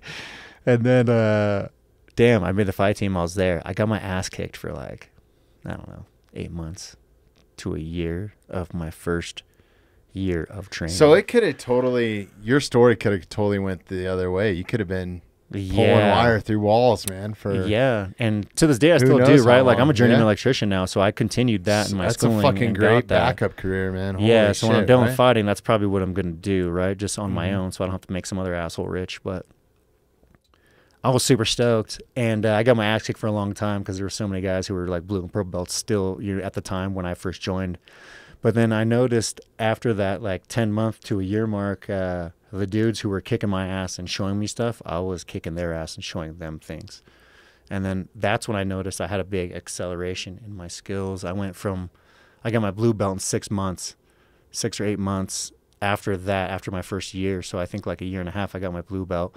And then in two years or three years, my buddy or my coach Brian gave me my purple belt. And then I stayed at purple belt for a few years, got my brown, and then eventually got my black after I beat Miller. But uh, that was how I got started. But it all started with that guy Mark Smith, and it's kind of crazy. And, and this is like a really another part of that weird coincidental story that I told you Mhm. is Mark Smith actually passed away. Um, I got into fighting. I got in the UFC, and I was trying to get a hold of him one day because he had moved to Hawaii, back to Hawaii, and I was trying to get a hold of him so I could thank him, right, and be like, "Thank you because you are the reason why I'm in the UFC. Like you put, you showed me where to step the first time, right? Like you showed me the path to, walk, and here I am. So I want to thank him, but uh, Mark actually ended up passing away from a heart attack, and I never got that chance. And so when I made it in the UFC, uh, I I very soon realized I lost my first fight in the UFC, and I very soon realized that uh, eight thousand dollars isn't enough money in California to live very long. And Yeah, no so shit, man. I had to go back to work, and uh, I got a job at AAA, and I was selling and installing batteries. So people would call and broken down, my car won't start. I would drive there with a van, test their battery. If it was bad, I'd sell them one. I'd install it, send them on their way. Right. Um, one day I get a call, and it's this lady. Her name's Patricia Smith. I get the call, and I'm wearing my Metal Mulisha hat, and uh, I'm working on. it. I'm like, oh yeah, your, battery's shot. Yeah, you need a new one. This and that and we're talking. I'm giving her my my salesman spiel, right? And then uh, she goes, "Oh, you that's a pretty cool hat." She's like, "My my son used to train those boys, the Mulisha boys." And I'm like, "Your son?" And then I'm like, "Your last name's Smith." And then I'm like, "Who's your son?" And she's like, "Oh, Mark." She's like, "Maybe you know him." I was like, "Mark the Bear Smith." She's like, "Yeah, that's my son." And she walks inside and comes out and brings out this collage that the Mulisha boys made for her of him, and it was photos of him and them, and Really? all this, you know, what I mean, memories and stuff. And so, like, like I'm shaking right now. Immediately, I was like, "Fuck, this is crazy." full circle, huh, man? Yeah, how is wild. this? How is this happening right now? Right, this is really cool. So I was like, "Fuck, man!" I was like, "You know what?" I was like, "Let me give you a big old hug, right?" And and it's really weird because when I ran into her it was literally the week after I had tried to get a hold of Mark and found out that he had passed away. 'Cause I Really? didn't I didn't know because I didn't have really contact with him. Like I was just friends with him because he was friends with uh, my girlfriend at the time's dad, and we broke up. Like that whole that whole bond like cut right. Like I didn't really talk to him like I talked to him before. And so uh, I just I got really emotional, right? And I gave her a big old hug, and I was like, "Thank you." And she's like, "What?" And I was like, "I'm like, you don't know this, but your buddy, your your son Mark, he is the reason why I'm a fighter." And I explained to her, and I showed her our stuff, and she's like, "Oh wow!" She's like, "You really like, you're really good. You you made it." You know what I mean? I was like, "Yeah." And I was like, "But your son is the reason why I did. Like, he's the one that brought me there." And so like, thank you. You know what I mean? Like, I want to Wow. thank you. And I bought her battery. I put it in for her, and I gave her my number, and I was like, "If you ever fucking issue, you call me. Fuck AAA. You How call trippy me." is right? that, man? It's Yeah, so, so- weird those connections that happen to you in life Yeah. like that. Like, And that's not even the only one. So even before that, before I got in the UFC, I almost quit fighting in 2011. Um, during summer, I was sick of it. I was I was fighting people, and I was getting paid, you know, a couple thousand dollars here and there to fight. I was working and training to fight. I was sacrificing so much of my time, my money, my body. I was I was starting to be unhappy. I, I lost a relationship, right over it.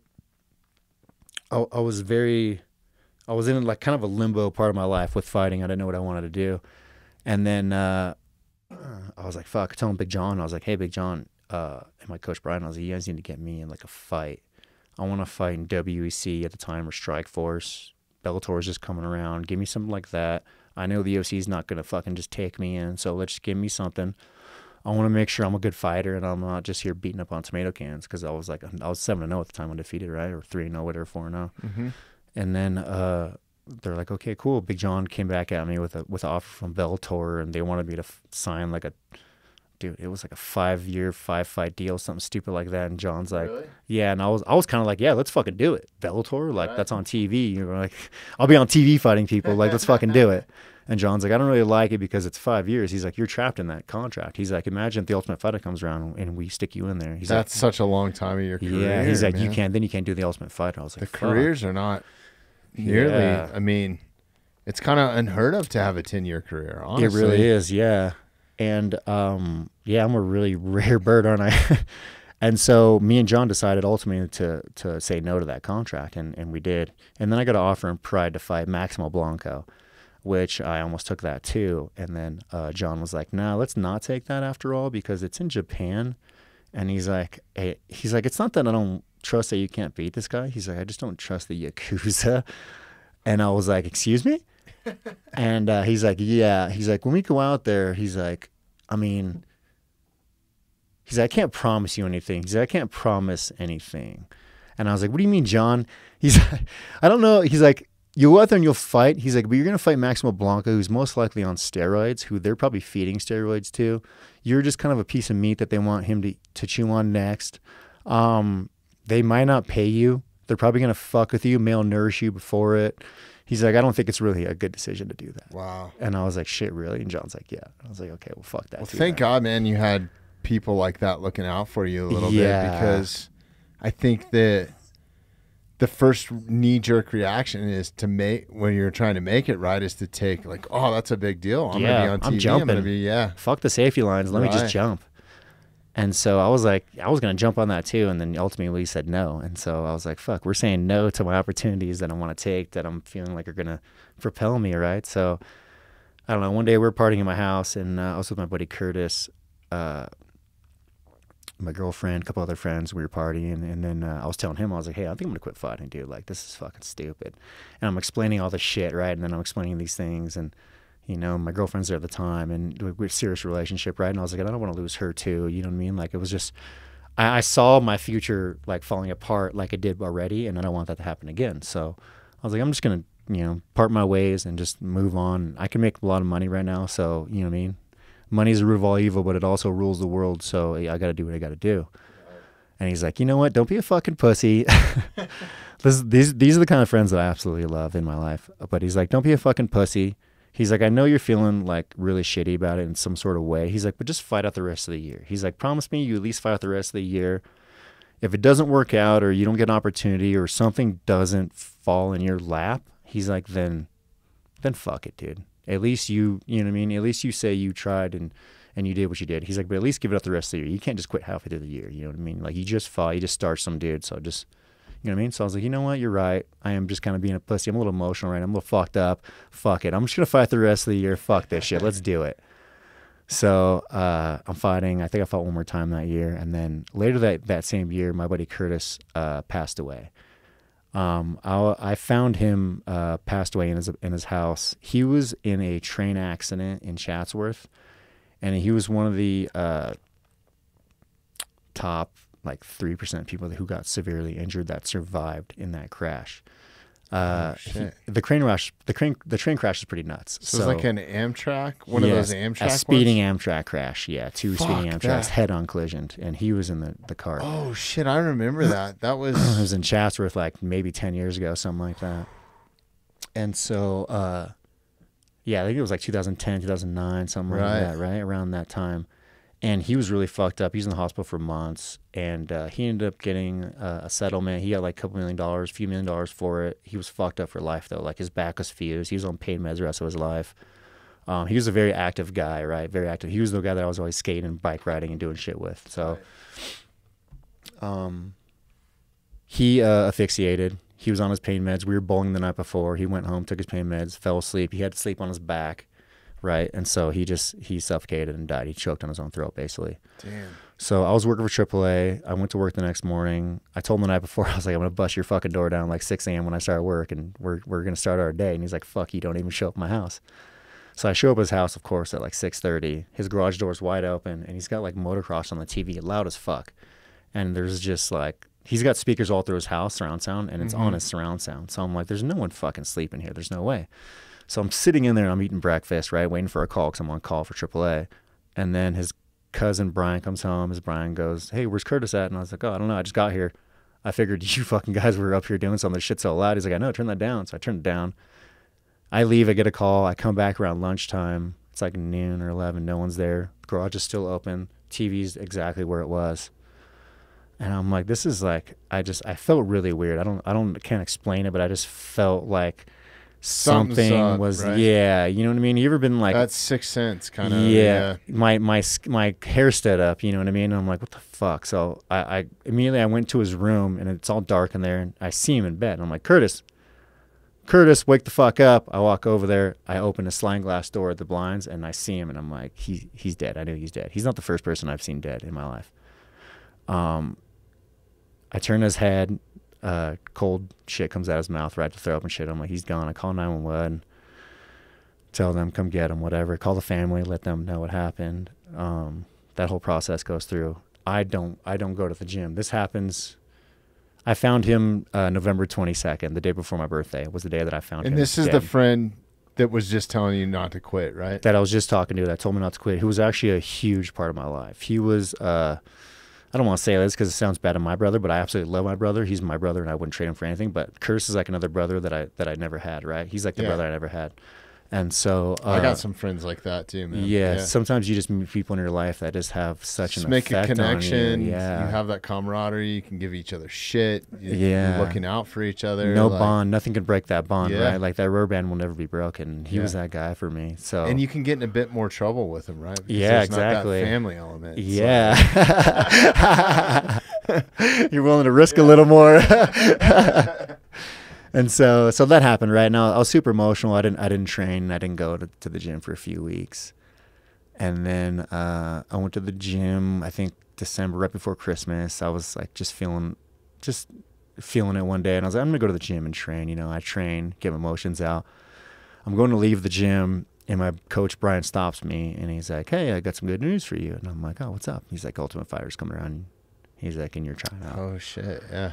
And I was like, "Ah, Brian, you know, if you're if you're like fucking with me right now, I'm just not in the mood, and I'm I'm gonna punch you in the fucking throat, dude. Like, um, if you're if you're fucking with me right now, Brian, we're fighting right now. Like, I'm I'm not kidding, dude. I'm not in the mood for any kind of shit like this." And he pulls out behind him the application he already had printed, which was thick as fuck that I still have. It's probably about an inch thick. Um, here's the application. Fill this out. We need to make you a highlight DD- DVD. What season was that? Uh, it was season 15, the live one, Okay. the only live one that they did, the only live season they did. Really? Yeah. Normally the season's only six weeks. The guys fight every other day. Ours was three months. Who were the coaches on that? Because that's how I recognize Dominick Cruz and Uriah Faber. Okay. Yep. And so uh, I was, so before I actually got on that, so okay, so he says that, right? I get the application and, and I just, I start crying, right? I get emotional and I'm like, this is Curtis telling me not to be a pussy in the last week of the year. Um, Right. Another This is a sign. coincidence. this is right? t- Yeah. very too coincidental, and this is why. The Ultimate Fighter has a certain pattern in the way they do the show. They go, you know, lightest to they go super light, super heavy. You know, not so light to not so heavy, and so on and so forth. So they shrink down. It's usually welterweight and middleweights Right. together, or light and welterweights together. And it used to be one season a year, and now I think they're doing a bit more. But Yeah, and, then it stopped for a while too, right? Yeah, they just- shut it down and they started the Contender Series, Right. which because they realized Contender Series cost them less money. yeah, but it's not as entertaining to it's watch. It's really not. right? Yeah, it's not, it's not like the Kardashians, Yeah. right? and so, uh, fuck, yeah. I just threw you off. I, I there, tried I? out. yeah, yeah. He told me we're gonna try out. I'm like, this is Curtis, the last week of the year, telling me not to be a fucking pussy, and I could just. At that moment, I heard his voice so loud in my head that I couldn't hear anybody. It was like he was screaming in my fucking ear, "Fill that fucking thing out, pussy." So I fill it out. I try out. The tryouts were fucking nuts. Uh, I showed up in Vegas the Palace Station, and there was So do you try out before you actually get? Yes, you have to try out. There's a process, Sure. and the process was this. Is it hundreds of dudes or is it like? There was almost, I think there was like uh, 800 and something, almost 900 people trying shit. out for the season that I tried out for.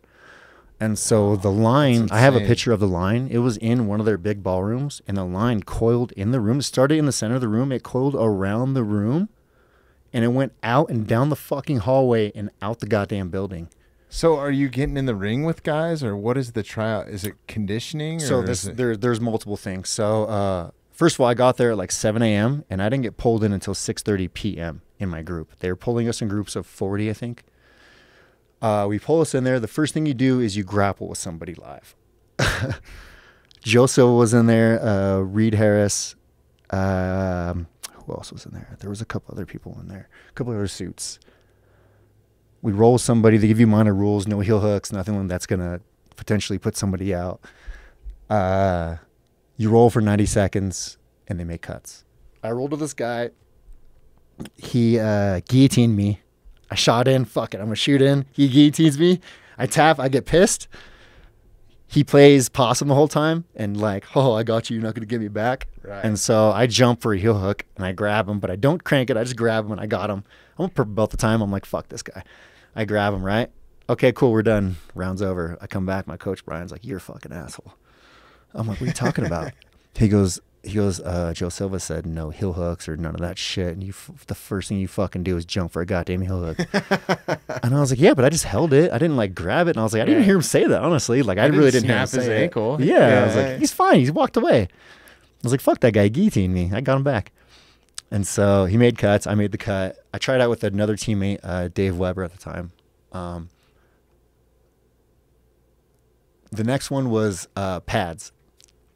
Coach Brian pulls out the pads. We're hitting pads. I'm just hammering these fucking things. Whap, whap, whap, whap, whap. Just being loud, having a good time. I'm starting to get tired. When is this motherfucker going to tell me I'm done hitting pads? so they want to see the guys go for a minute, huh? Shit. Yeah, I was hit. I was. Oh man, I don't know how hard I was hitting this pad. I was hitting this pad as hard as I can for as long as I could, and it seemed like a half a fucking hour, but it was probably literally thirty seconds, right? and I'm smashing this pad, and then finally, finally Silva goes, "All right, Vince, we've seen enough. You can sit down now." And then I was like, "Oh, he's talking to me." I was like, "That motherfucker just called me Vince." I was like, "I think that's good. Is that good, Ryan?" yeah, we were in the back. I was like, "Is that good? He knows my name. He knows me." Oh. Right? And so they make cuts. I make the cut. My buddy Dave gets cut right there. The third thing we have to do is the face-to-face interview with the with the producers. And so I'm like, shit. Now I have to. I'm like, okay, I gotta. I gotta be. I gotta be me. I gotta be cool. I gotta be a little douchey in there. They want some douchey people, you know. Right. I gotta be. I gotta be stern though. I gotta be like strong. Gotta let them know I'm playful. You know what I mean? I'm like, all this shit's going through my head. I'm like, what the fuck am I gonna do? We're sitting on a bench like it's prison. We're waiting to just get mugshotted. Uh, I go in there and there's an oval desk that's the long ways right in the room, and I'm on this side of it, and it's Craig Piligian, Jamie, uh, another um, Gary, another all the lead producers, a couple other people, and then there's like I don't know how many fucking cameras, dude. Like ten cameras, three big ones, little ones all over the walls. There's on the desk. They're like up my nose and shit. It's fucking weird, right? I feel like I'm getting prodded by aliens, kinda. Right. And so uh, the guy Craig, he goes, "Hey, what's up?" Uh, he's like, "Vink, your name Vink?" I was like, "Oh no, it's Vince. I just spell like just that." spelled different. Yeah, Yeah. I just spell like that. And he's like, "That's kind of weird." And I was like, "Yeah, tomato, tomato. You know, you probably spell your name weird to other people. It's what it is." He's like, "Why you spell it that way?" And I'm like, "Okay, let me explain." When I was younger, my mom used to call me Vincey. My full name is Vincent, so like so anyone Mhm. knows that. My full name is Vincent. That's my full name. But uh, my mom used to call me Vincey when I was a kid, right? And so when I was learning to write my name, I thought Vince with the E was Vincey. So I took the E off Vince. So that's why I spell my name the way I do. That's the only reason. And so when I was in school, teachers were like, "That's not how you spell Vince. Vince is with the E." And I'm like, "Fuck off! It's my name. Spell it how you want. That's my name." I love it. right? And so fucking I've always spelled it like That's how that. it sounds, Yeah, right? Like, yeah. yeah. How and that was the logic in my head at the time, and it's Right. funny to this day. Like I still think that way about things, right? Like I still have that weird logic in me, I which do is too, probably kept me as weird as I am. But and so uh, I'm sitting in there, and he goes, "Oh, okay, that's that's cool." He's like, "Oh, you're born in Lancaster." You lived in Canoga Park, you were in Simi Valley, now you're in Sherman Oaks. He's like, one shithole to the next, huh? And I was like, yeah, basically. And then he's like, he's like, how you like Sherman Oaks? I'm like, oh, it's okay, but there's a lot of fucking weirdos out there. And he's like, weirdos? What do you mean? And I was like, I was like, well, I don't sound racist or anything, but Armenians, man, like there's a lot of Armenians out there, and they're just they're fucking weirdos. And like I like I, I have friends that are Armenian, but they're just they're just weird to me sometimes. And uh, he's like, really? He like gives me this look, and then I'm like, let me explain. I'm like, let me explain. So there's this. There, I live in this building, and it's ninety percent Armenians, and uh, there's me, my super pasty white ass girlfriend, and like you know some other rare, random people in there. And there was this one dude who I who I always talk to. Um, thickest eyebrows I ever fucking seen in my life. Smells like cool track cologne, right? Gold everywhere to the fucking T, right? Hair's coming out of his out of his fucking shirt. And uh, I always talked to him. He's a super cool dude. His name was uh, I don't remember his name. I was his name was like Ramsey or something. But uh, we'd always talk. And one day uh, we got in the elevator, and it was him. It was I was in the elevator, and, it, and then he came in with his wife or his girlfriend, whoever, and then they have a little son. And so uh, I'm like, hey, what's up, dude? Hey, what's up? How you doing? You know, talk to him. And then he doesn't say shit to me. Just looks at me. And I'm like, I'm like, okay, I'm high. Maybe I just was said that kind of quiet or slurred or something. And I'm like, hey, what's up, dude? How you doing today? and then he starts speaking to me, but he's speaking to me in uh, like Arab, right? Or uh, I don't know what he speaks, right? I don't know what the, the name of the language is, but so I'm like, oh, what the fuck? I'm like, do you did you forget English or something? Like, what the fuck, dude? And I was like, I was like, well, whatever, dude. I guess you can't pretend like you know English because your girlfriend's here. I was like, whatever. So I kind of got in like an argument with him, but I was just arguing with myself with him. You know what I mean? Like, because he wasn't talking back to me at this point. And so I tell him that, and I'm like, yeah, it was just a fucking weird thing. You know what I mean? Like, I don't know. Like, I'm friends with Karo Parisyan too, and like, I love you people, but you're just too proud sometimes of your own for your own good. You know what I mean? And then that's when he goes, you know, I'm Armenian, right? And then I was like, fuck. And then I'm like, damn, I fucked up. And then I look over, and both the other producers are like, like, dude, this guy's fucking dead in the water now, right? And I'm like, shit. So I'm sitting there, and then he goes, Craig goes, oh, you know, uh, oh, he's he goes, Pichel, huh? He's like, what, what is that? I was like, well, the last name's actually French. I was like, but I'm Dutch, Italian. And he's like, oh, he's like, anyone to tell you ever, anyone, anyone ever tell you you look, uh, you know, Hispanic? And he like says it in a, you know, in a way like Hispanic. You know what I mean?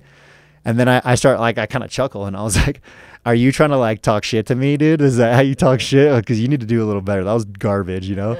and then the other two producers start like chuckling, right? And he gets mad. He says something else, and then I answer him with some smart ass comment. And then he goes, "All right, I think I've seen enough. You get the fuck out of here now." And I was like, "Oh, interview's over." He's like, "Interview's over," and I was like, "See you later," right? And I salute him and I fucking walk off. And as I walk outside, I immediately want to just kick myself in the dick, right? I want to just, I want to just jump headfirst out a fucking window because I fucked up. I fucked up so bad. How did I fuck up so bad? How? Why? You did so good. You made it here. The the timeline of things, you know what I mean? Things that shouldn't have fell into place fell into place. You got all the way here and you fucking did that. You stupid dumb shit. You fucking retard. What is wrong with you? You know what I mean? I'm having this conversation. I hear the door open. I turn around and it's uh, Gary, the other lead producer, and he's laughing his fucking balls off. And he's like, Vince. He's like, what's up, man? I was like, what's up? He's like, I was like, I fucked up. He's like, he's like, what do you mean? I was like, I, I fucked up, didn't I? I was like, I feel like that went really, really bad. You were a little too much yourself, right? Yeah, I was too much of that asshole that I can be, you know. And then uh, he goes, he goes, no. He's like, honestly, he's like, that was the best fucking interview that we have ever seen for the Ultimate Fighter. Like Craig's pissed off and he's a little upset, but fuck him. That was the best interview we've ever seen. We're pushing you through. Don't tell anyone, but we're pushing you through. I'm like sick. So I go home. I'm like tight. I'm gonna get a call and they're gonna let me know when I need to come back and do the other shit, right? So I get that call. They're like, okay, you got to come back. Jamie's talking to me now. She's their lead producer. Jamie goes, uh, yeah, you got to fly out here. We're going to take you, and, you know, we got to do the medical stuff, photos, videos, you know, the whole nine yards. Because now you're going to go through the second part of the process. And if you make this, you're on the Ultimate Fighter. You fight to get in the house. So I was like, sick. I'm like, wait, did you say flight? She goes, yeah, we're going to fly you out here. I was like, oh, I can't go on a plane. She goes, why? I'm like, well, she's like, you afraid of heights or flying? I was like, no, no, no. I'm just, when I was younger, I, uh, this will tell you about how, how long this craziness has been in me. When I was younger, when I was like 15 or 16, I made a promise to myself that I would not go in a plane until it was the skydive. And so I told Jamie this. I was like, I made a promise to myself that I can't do, I don't break my promises. I, I have to, I can't, she's, so I, I, I explained this to her. Yeah. So she goes, you better fucking book it. You have three months. And so I book it and, uh, luckily it was like right around my birthday time that I got to do it. So, because I waited like it was like almost a whole year process to get even get in this fucking place. Like it was pretty nuts the process. I didn't realize how long it took to even be on the Ultimate Fighter. And so later that year, I go skydiving. You know, I do it. I steal the video, right? I didn't pay for it because they wanted like too much money for it. It's California. I even have the video of the lady screaming at me, telling me I'm stealing video as I'm recording it off their TV screen, right? I'm like, fuck you. This, this is my first time at a plane, bitch. I'm stealing this shit. Call the fucking cops. See if they get here in time. And so uh, I do that. I fly out there to Vegas and uh, I do the medical stuff. I go to the interview. We're sequestered in a hotel room. I couldn't leave. They took my cell phone, took my wallet, took everything, gave me a bag of clothes, tell me I could order whatever I want to eat. Just stay in the hotel room. Don't leave the hotel room or you're Well, fucked. isn't it? I mean, from there, it's only a four or five hour drive, right? Yeah, from where I was. Yeah, it's not a far drive. Yeah, but they're like, we're gonna fly you out there. you, yeah. And so uh, I'm sequestered. I go in the interview room, the second interview, the final one, and then right before I go in, Gary's out there, and he's he's like, he stops me. I'm like, hey, what's up, man? He's like, hey, he's like, uh, you know what to do in there, right? And I was like, I don't, I don't know. I was like, I don't, I like, I honestly, I'm so fucking nervous, dude. I don't know what to do. And last time I feel like I fucked up. He told me I did good. I don't know what to do. He's like, honestly, he's like, just go in there, pretend like you don't give a fuck. He's like, go in there like you did last time, pretend like you don't give a fuck, and just, just go in there. I'm like, cool. I walk in, I sit down. This time we're at a long table, and I'm at the end of the table, and there's people, too many people on both sides, and then Craig Piligian at the very end, king of the castle, motherfucker at the end, right?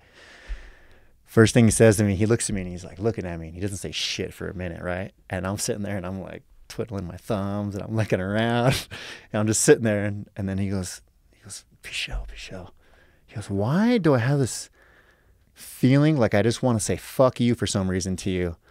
And I was like, oh, I was like, because I'm that motherfucker that fucking that hates Armenians. That's why, right? And I don't, I don't know why I said that. I, I don't know why I said that, but I fucking said it, and everyone just starts erupting in there, right? And then Craig Piligian's like, that's right, get the fuck out of here. And then I sat there and I was like, I'm not going anywhere. I'm staying right fucking here. And then he's like, okay. And then we we talked. Me and him just talked, bullshitted, and it was actually it was so different than I was expecting it to be. It was a conversation like me and you are having, not like he's interviewing me.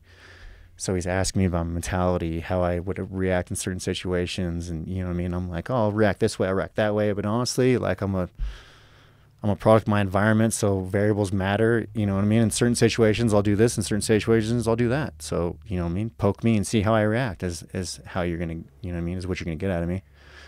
And so he's like, cool. He let me know that he's like, we really like you. He's like, we're gonna take you. He's like, as long as your medical's passed, he's like, you're fighting to get on the fucking show. He's like, so be prepared to fight and get on the show. I was like, fuck yeah. I left there so just excited and, and just happy. Yeah. And then I was just like, man, all these things came together so crazily. And even before that, I talked to Big John about it, and Big John's like, hey, uh, you're gonna be selected on Faber's team. Faber's gonna pick you because I talked to him and I told him about you, and he knows. So Faber's gonna pick you. So don't be surprised if Faber picks you. I'm like, fuck, sweet. I like Faber. I don't like Dominick Cruz. At the time, I did not like Dominick Cruz because uh, all I knew of him was his interviews and how he was, and I was like, this guy's a fucking douche nozzle. I do not like this guy. like, I just thought he was so douchey, right?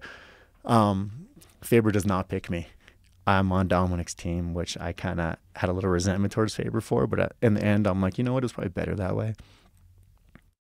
But I remember asking Faber about it one day. We were in the house and we were all drinking. Did you get your fighter name there, or did you have it prior to going? No, I had it prior actually. So I got it from my mom.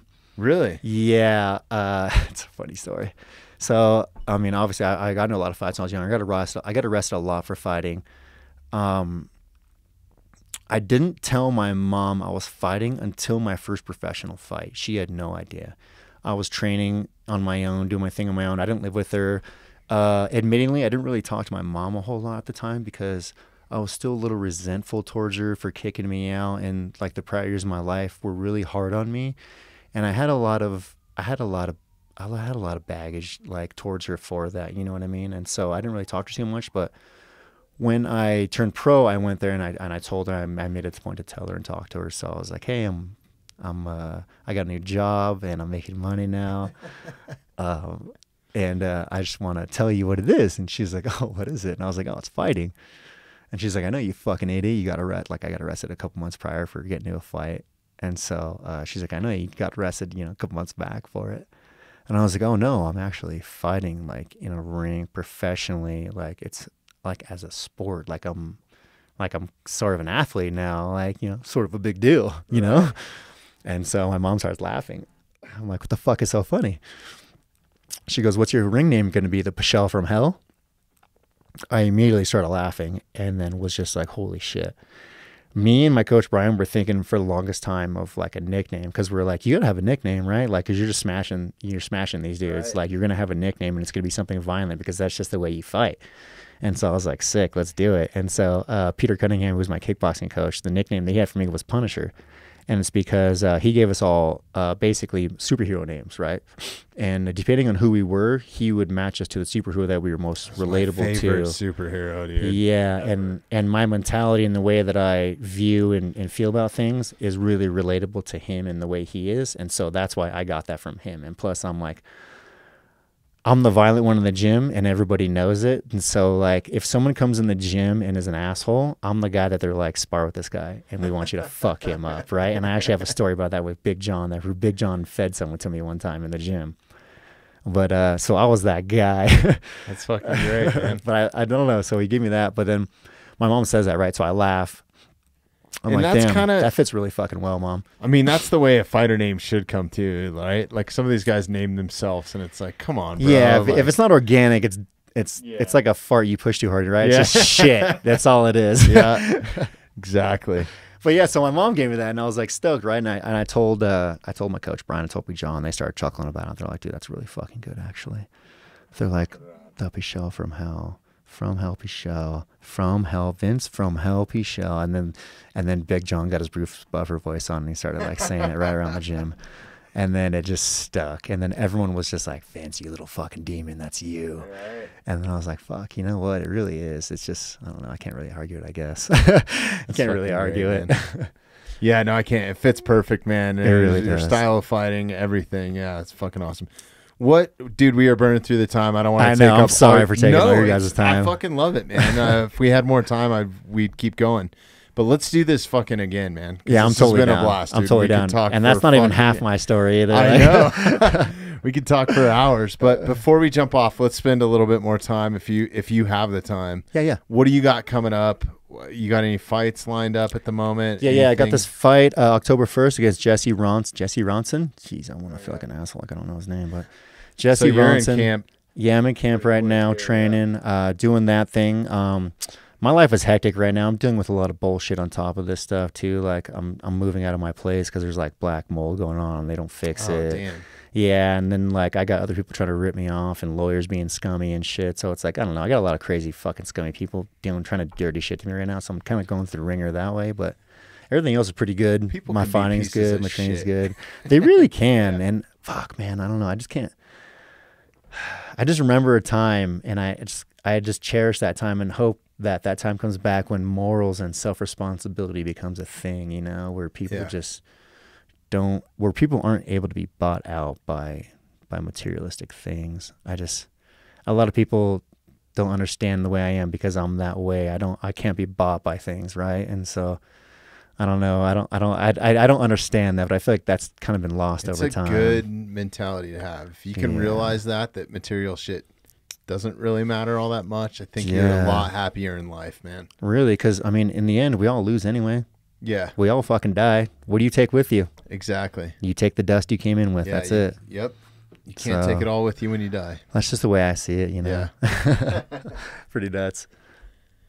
But yeah, so you got your fight coming up in October. Yeah, I got the fight coming up, but that's basically it, man. I'm just training. Like, uh, Nice. just like I said, I'm gonna probably take off here, do some shooting a little bit. I need to. I just bought that rifle. I just got a 308 rifle, so I'm trying to dial Cool. in that scope. I put on there, and I get that thing going because I want to do hunting. Um, probably just gonna do that, chill. I'm a pretty chill back dude. I don't really do too much. I just like to hang out with boys. You know what I mean? Uh, do outdoorsy stuff. Like I said, I got I got dirt bike riding a lot. I like camping, exploring shit like that. I just got my fishing license, so I'm gonna go do some fishing and shit.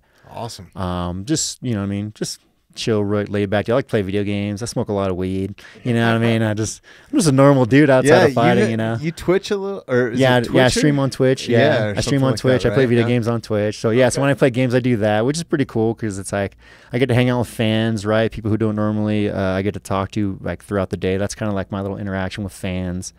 Uh, make a little bit of money off that too, you know what I mean, and get to have fun while I'm playing games, right? And then I get, and then because I love video games, and I play video games with other That's people That's why too. I enjoy so- this so much, dude. Because I get to hang out with people. It's not like I'm trying to kill it. Like, this is why I love fighting so much, right? Like when when I joined fighting, I was like, oh cool, I'm gonna make fucking stacks of money, which I didn't at first, right? I didn't make dog shit, but I, I mainly got into fighting because I loved it. I love fighting, but then I didn't realize like the people that I've met and the things that I've gotten to do because of fighting.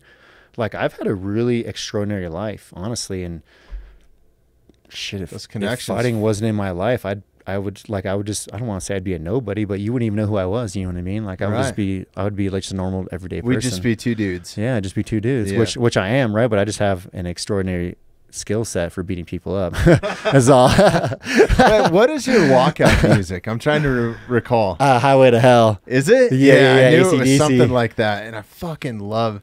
I love I'm that such song. a that song rocker, dude. going. Yeah, same. We uh we actually just upgraded or just metaled up the uh the intro song because we Oh, just did you? did What are you 100 using episodes. Oh shit! Congrats, nice. Yeah, so you're milestone 100 right You're 101. Oh, let's go. Yeah, yeah.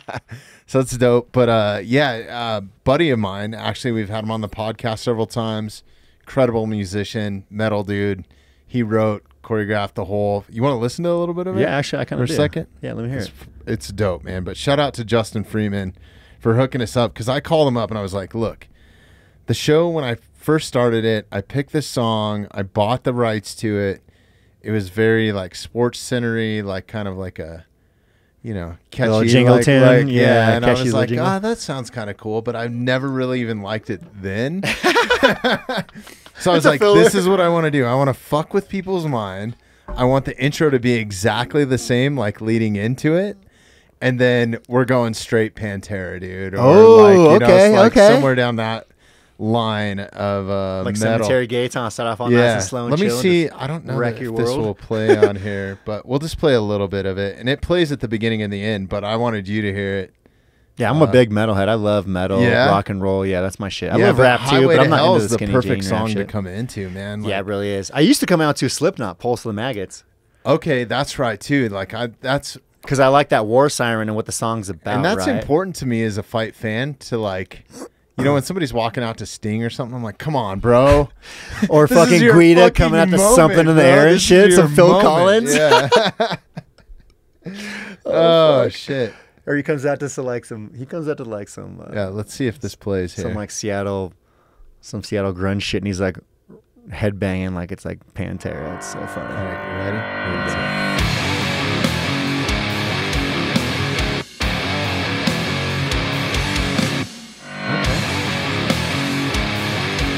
This sounds familiar. That riff sounds familiar. Yeah. It's it's mine though, you know.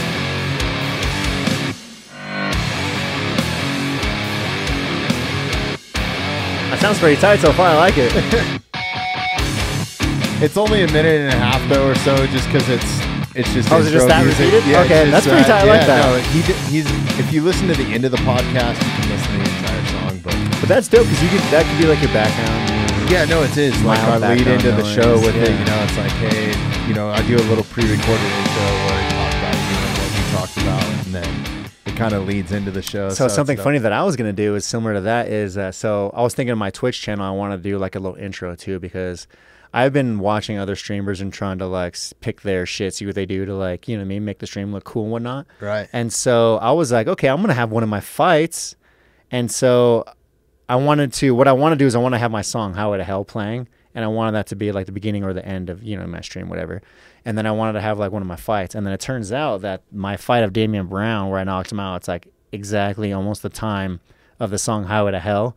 So I'm making a video now of the song "Highway to Hell" with that fight that I'm going to use as like Oh, an intro, ex- extra thing. Yeah. Intro, outro, intro, outro. I wonder, have any fighters ever done a custom song like like we had this written, like Justin wrote this. wrote yeah, this yeah. For me I don't. I don't remember who it was, but someone used to always have a custom song every time. like their own uh, it was an older guy. Yeah, it was like a long time when we, we used to like have our own sponsors like Right. that that long ago.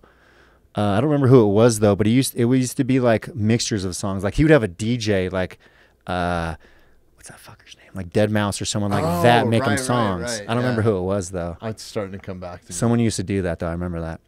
But yeah, I, used to- I used to come out to Pulse of the Maggots, and then I remember uh, that song was for me, right? Because the war siren in the beginning Yeah. and whatnot. And then uh, I noticed I'd walk through the crowd and I'd be jacked up, and I'd, the crowd would be looking around like, "What the fuck? Like is he's this playing. What the? the Yeah, fuck?" because if you're not a metalhead or Yeah. that, it's the They're like waiting for someone to start shit in the burning world, cats right? and Yeah, shit, you yeah. know, like some some pentagons are gonna start showing up on the walls, you know. Right. And so I was like, damn, I need to do something to uh, like kind of get the crowd involved, something that's also and me. That you know what I opening mean? lick. And yeah, that yeah that that riff in the beginning, and then the way it starts is just so perfect, and it it makes my fucking adrenaline go. Honestly, I dump right there. I'm just like, oh, Have you ever? I saw this concert live because I had a bunch of friends that were on it uh, on the lighting crew, and it was ACDC, and it must have been about 2006, maybe. Um, Damn but look up, it dude. They had a train in the background. Jeremy, can you look this up real quick? I think it's Highway to Hell. Just type in ACDC Highway to Hell live in YouTube or something. Vince, why he's looking that up, let's wrap this up, buddy, man. Okay, this okay, has been okay. awesome. Where can people find you on Insta, uh, your websites, your Twitch platform, all that sort of stuff? Let's drop all that. All right, let's go. All my social media is the same. I keep it pretty simple. Uh, I mean, not for you, but mainly for me, because uh, let's be honest, I get punched in the head a lot. And one of these days, it's going to affect me eventually. But uh, from Hell Pichel is my social medias, all of them: uh, Instagram, Facebook, Twitter, Twitch. Ones that I probably don't even use anymore, right? Like all the ones that I made over the years, that I don't use. It's all just from Help a. I keep Hey. Jeremy, sorry, dude. Mute this because we'll get pulled uh, for copyright. Shit. And then uh, I also have a website called uh, Fanarch, F A N A R C H dot com. what's going on there? That's where I actually sell my own stuff. So I sell my hats, shirts. Uh, I Oh, sell the From cases. Hell ones, right? Yeah. So that logo, my hat that I have, I sell that logo. I still sell some old logos too, old shirts and whatnot. I'm actually gonna make a new shirt design. I think I'm gonna have a mustache design going pretty soon here. Yeah. Uh, maybe some sort of like cowboy esque, uh, you know, feel to it, something like that. Maybe some Wyatt Earp type shit. Yeah, yeah. maybe something like that, or maybe even like Bronson. Okay. Because uh, that's what I was going to tell you too. Is Bronson was also a big part of it. So not Charles Bronson, the old school actor, but yeah, yeah. the new Charles Charlie Bronson with um, uh, Tom Hardy, that movie. Uh-huh. That actually, because I his mustache, and I was like, damn, that's hard. Yeah, as no, I'm fuck, s- dude. Resemblance, yeah. Yeah, a and I was bit, like, I can yeah. grow a dirty stash like that too. I think Yeah. because like my dad, my pops can grow a stash like that. So I was like, damn, I bet I could too. Fuck yeah. That's awesome. But yeah, it's pretty simple, all that, you know. All right, man. from Hell Pichel. Dude, this has been a lot of fun, man. Let's Yeah, do this blast. again. Uh, I really dude. appreciate you coming up and dealing with me and Yeah, I'd- scheduling and oh, I'd love- fucking. I'd love to I do felt this, like yeah. I was bugging the shit out of you. I was like, fuck, Nah, but we got to get Vince in here. Shit, we'll do whatever you want, man. We'll Yeah, go out here. let's we'll do it again, man. We'll do But- outside stream, doing something outdoorsy. I don't care, dude. Whatever you Yeah, want to do. we'll get you out. Let's, let's go shoot bows or whatever Yeah, you want to do, man. I'm down. Yeah, I'm All right. down. I'm down. Cool. Let's Thanks, it. man. Jeremy, you good over there? Yeah, buddy. All right. Thanks Yeah. everybody for listening. We'll catch you on the next Fuck yeah. Yeah, no, that's I love this shit.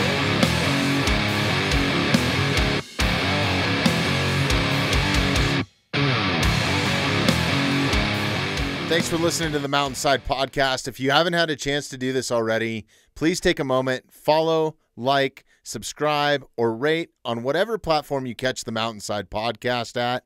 Also, if you'd like some more information on upcoming episodes, safety tips, access to all of our affiliates, and all the badass discounts that we get here at the Mountainside Podcast, check out themountainsidepodcast.com.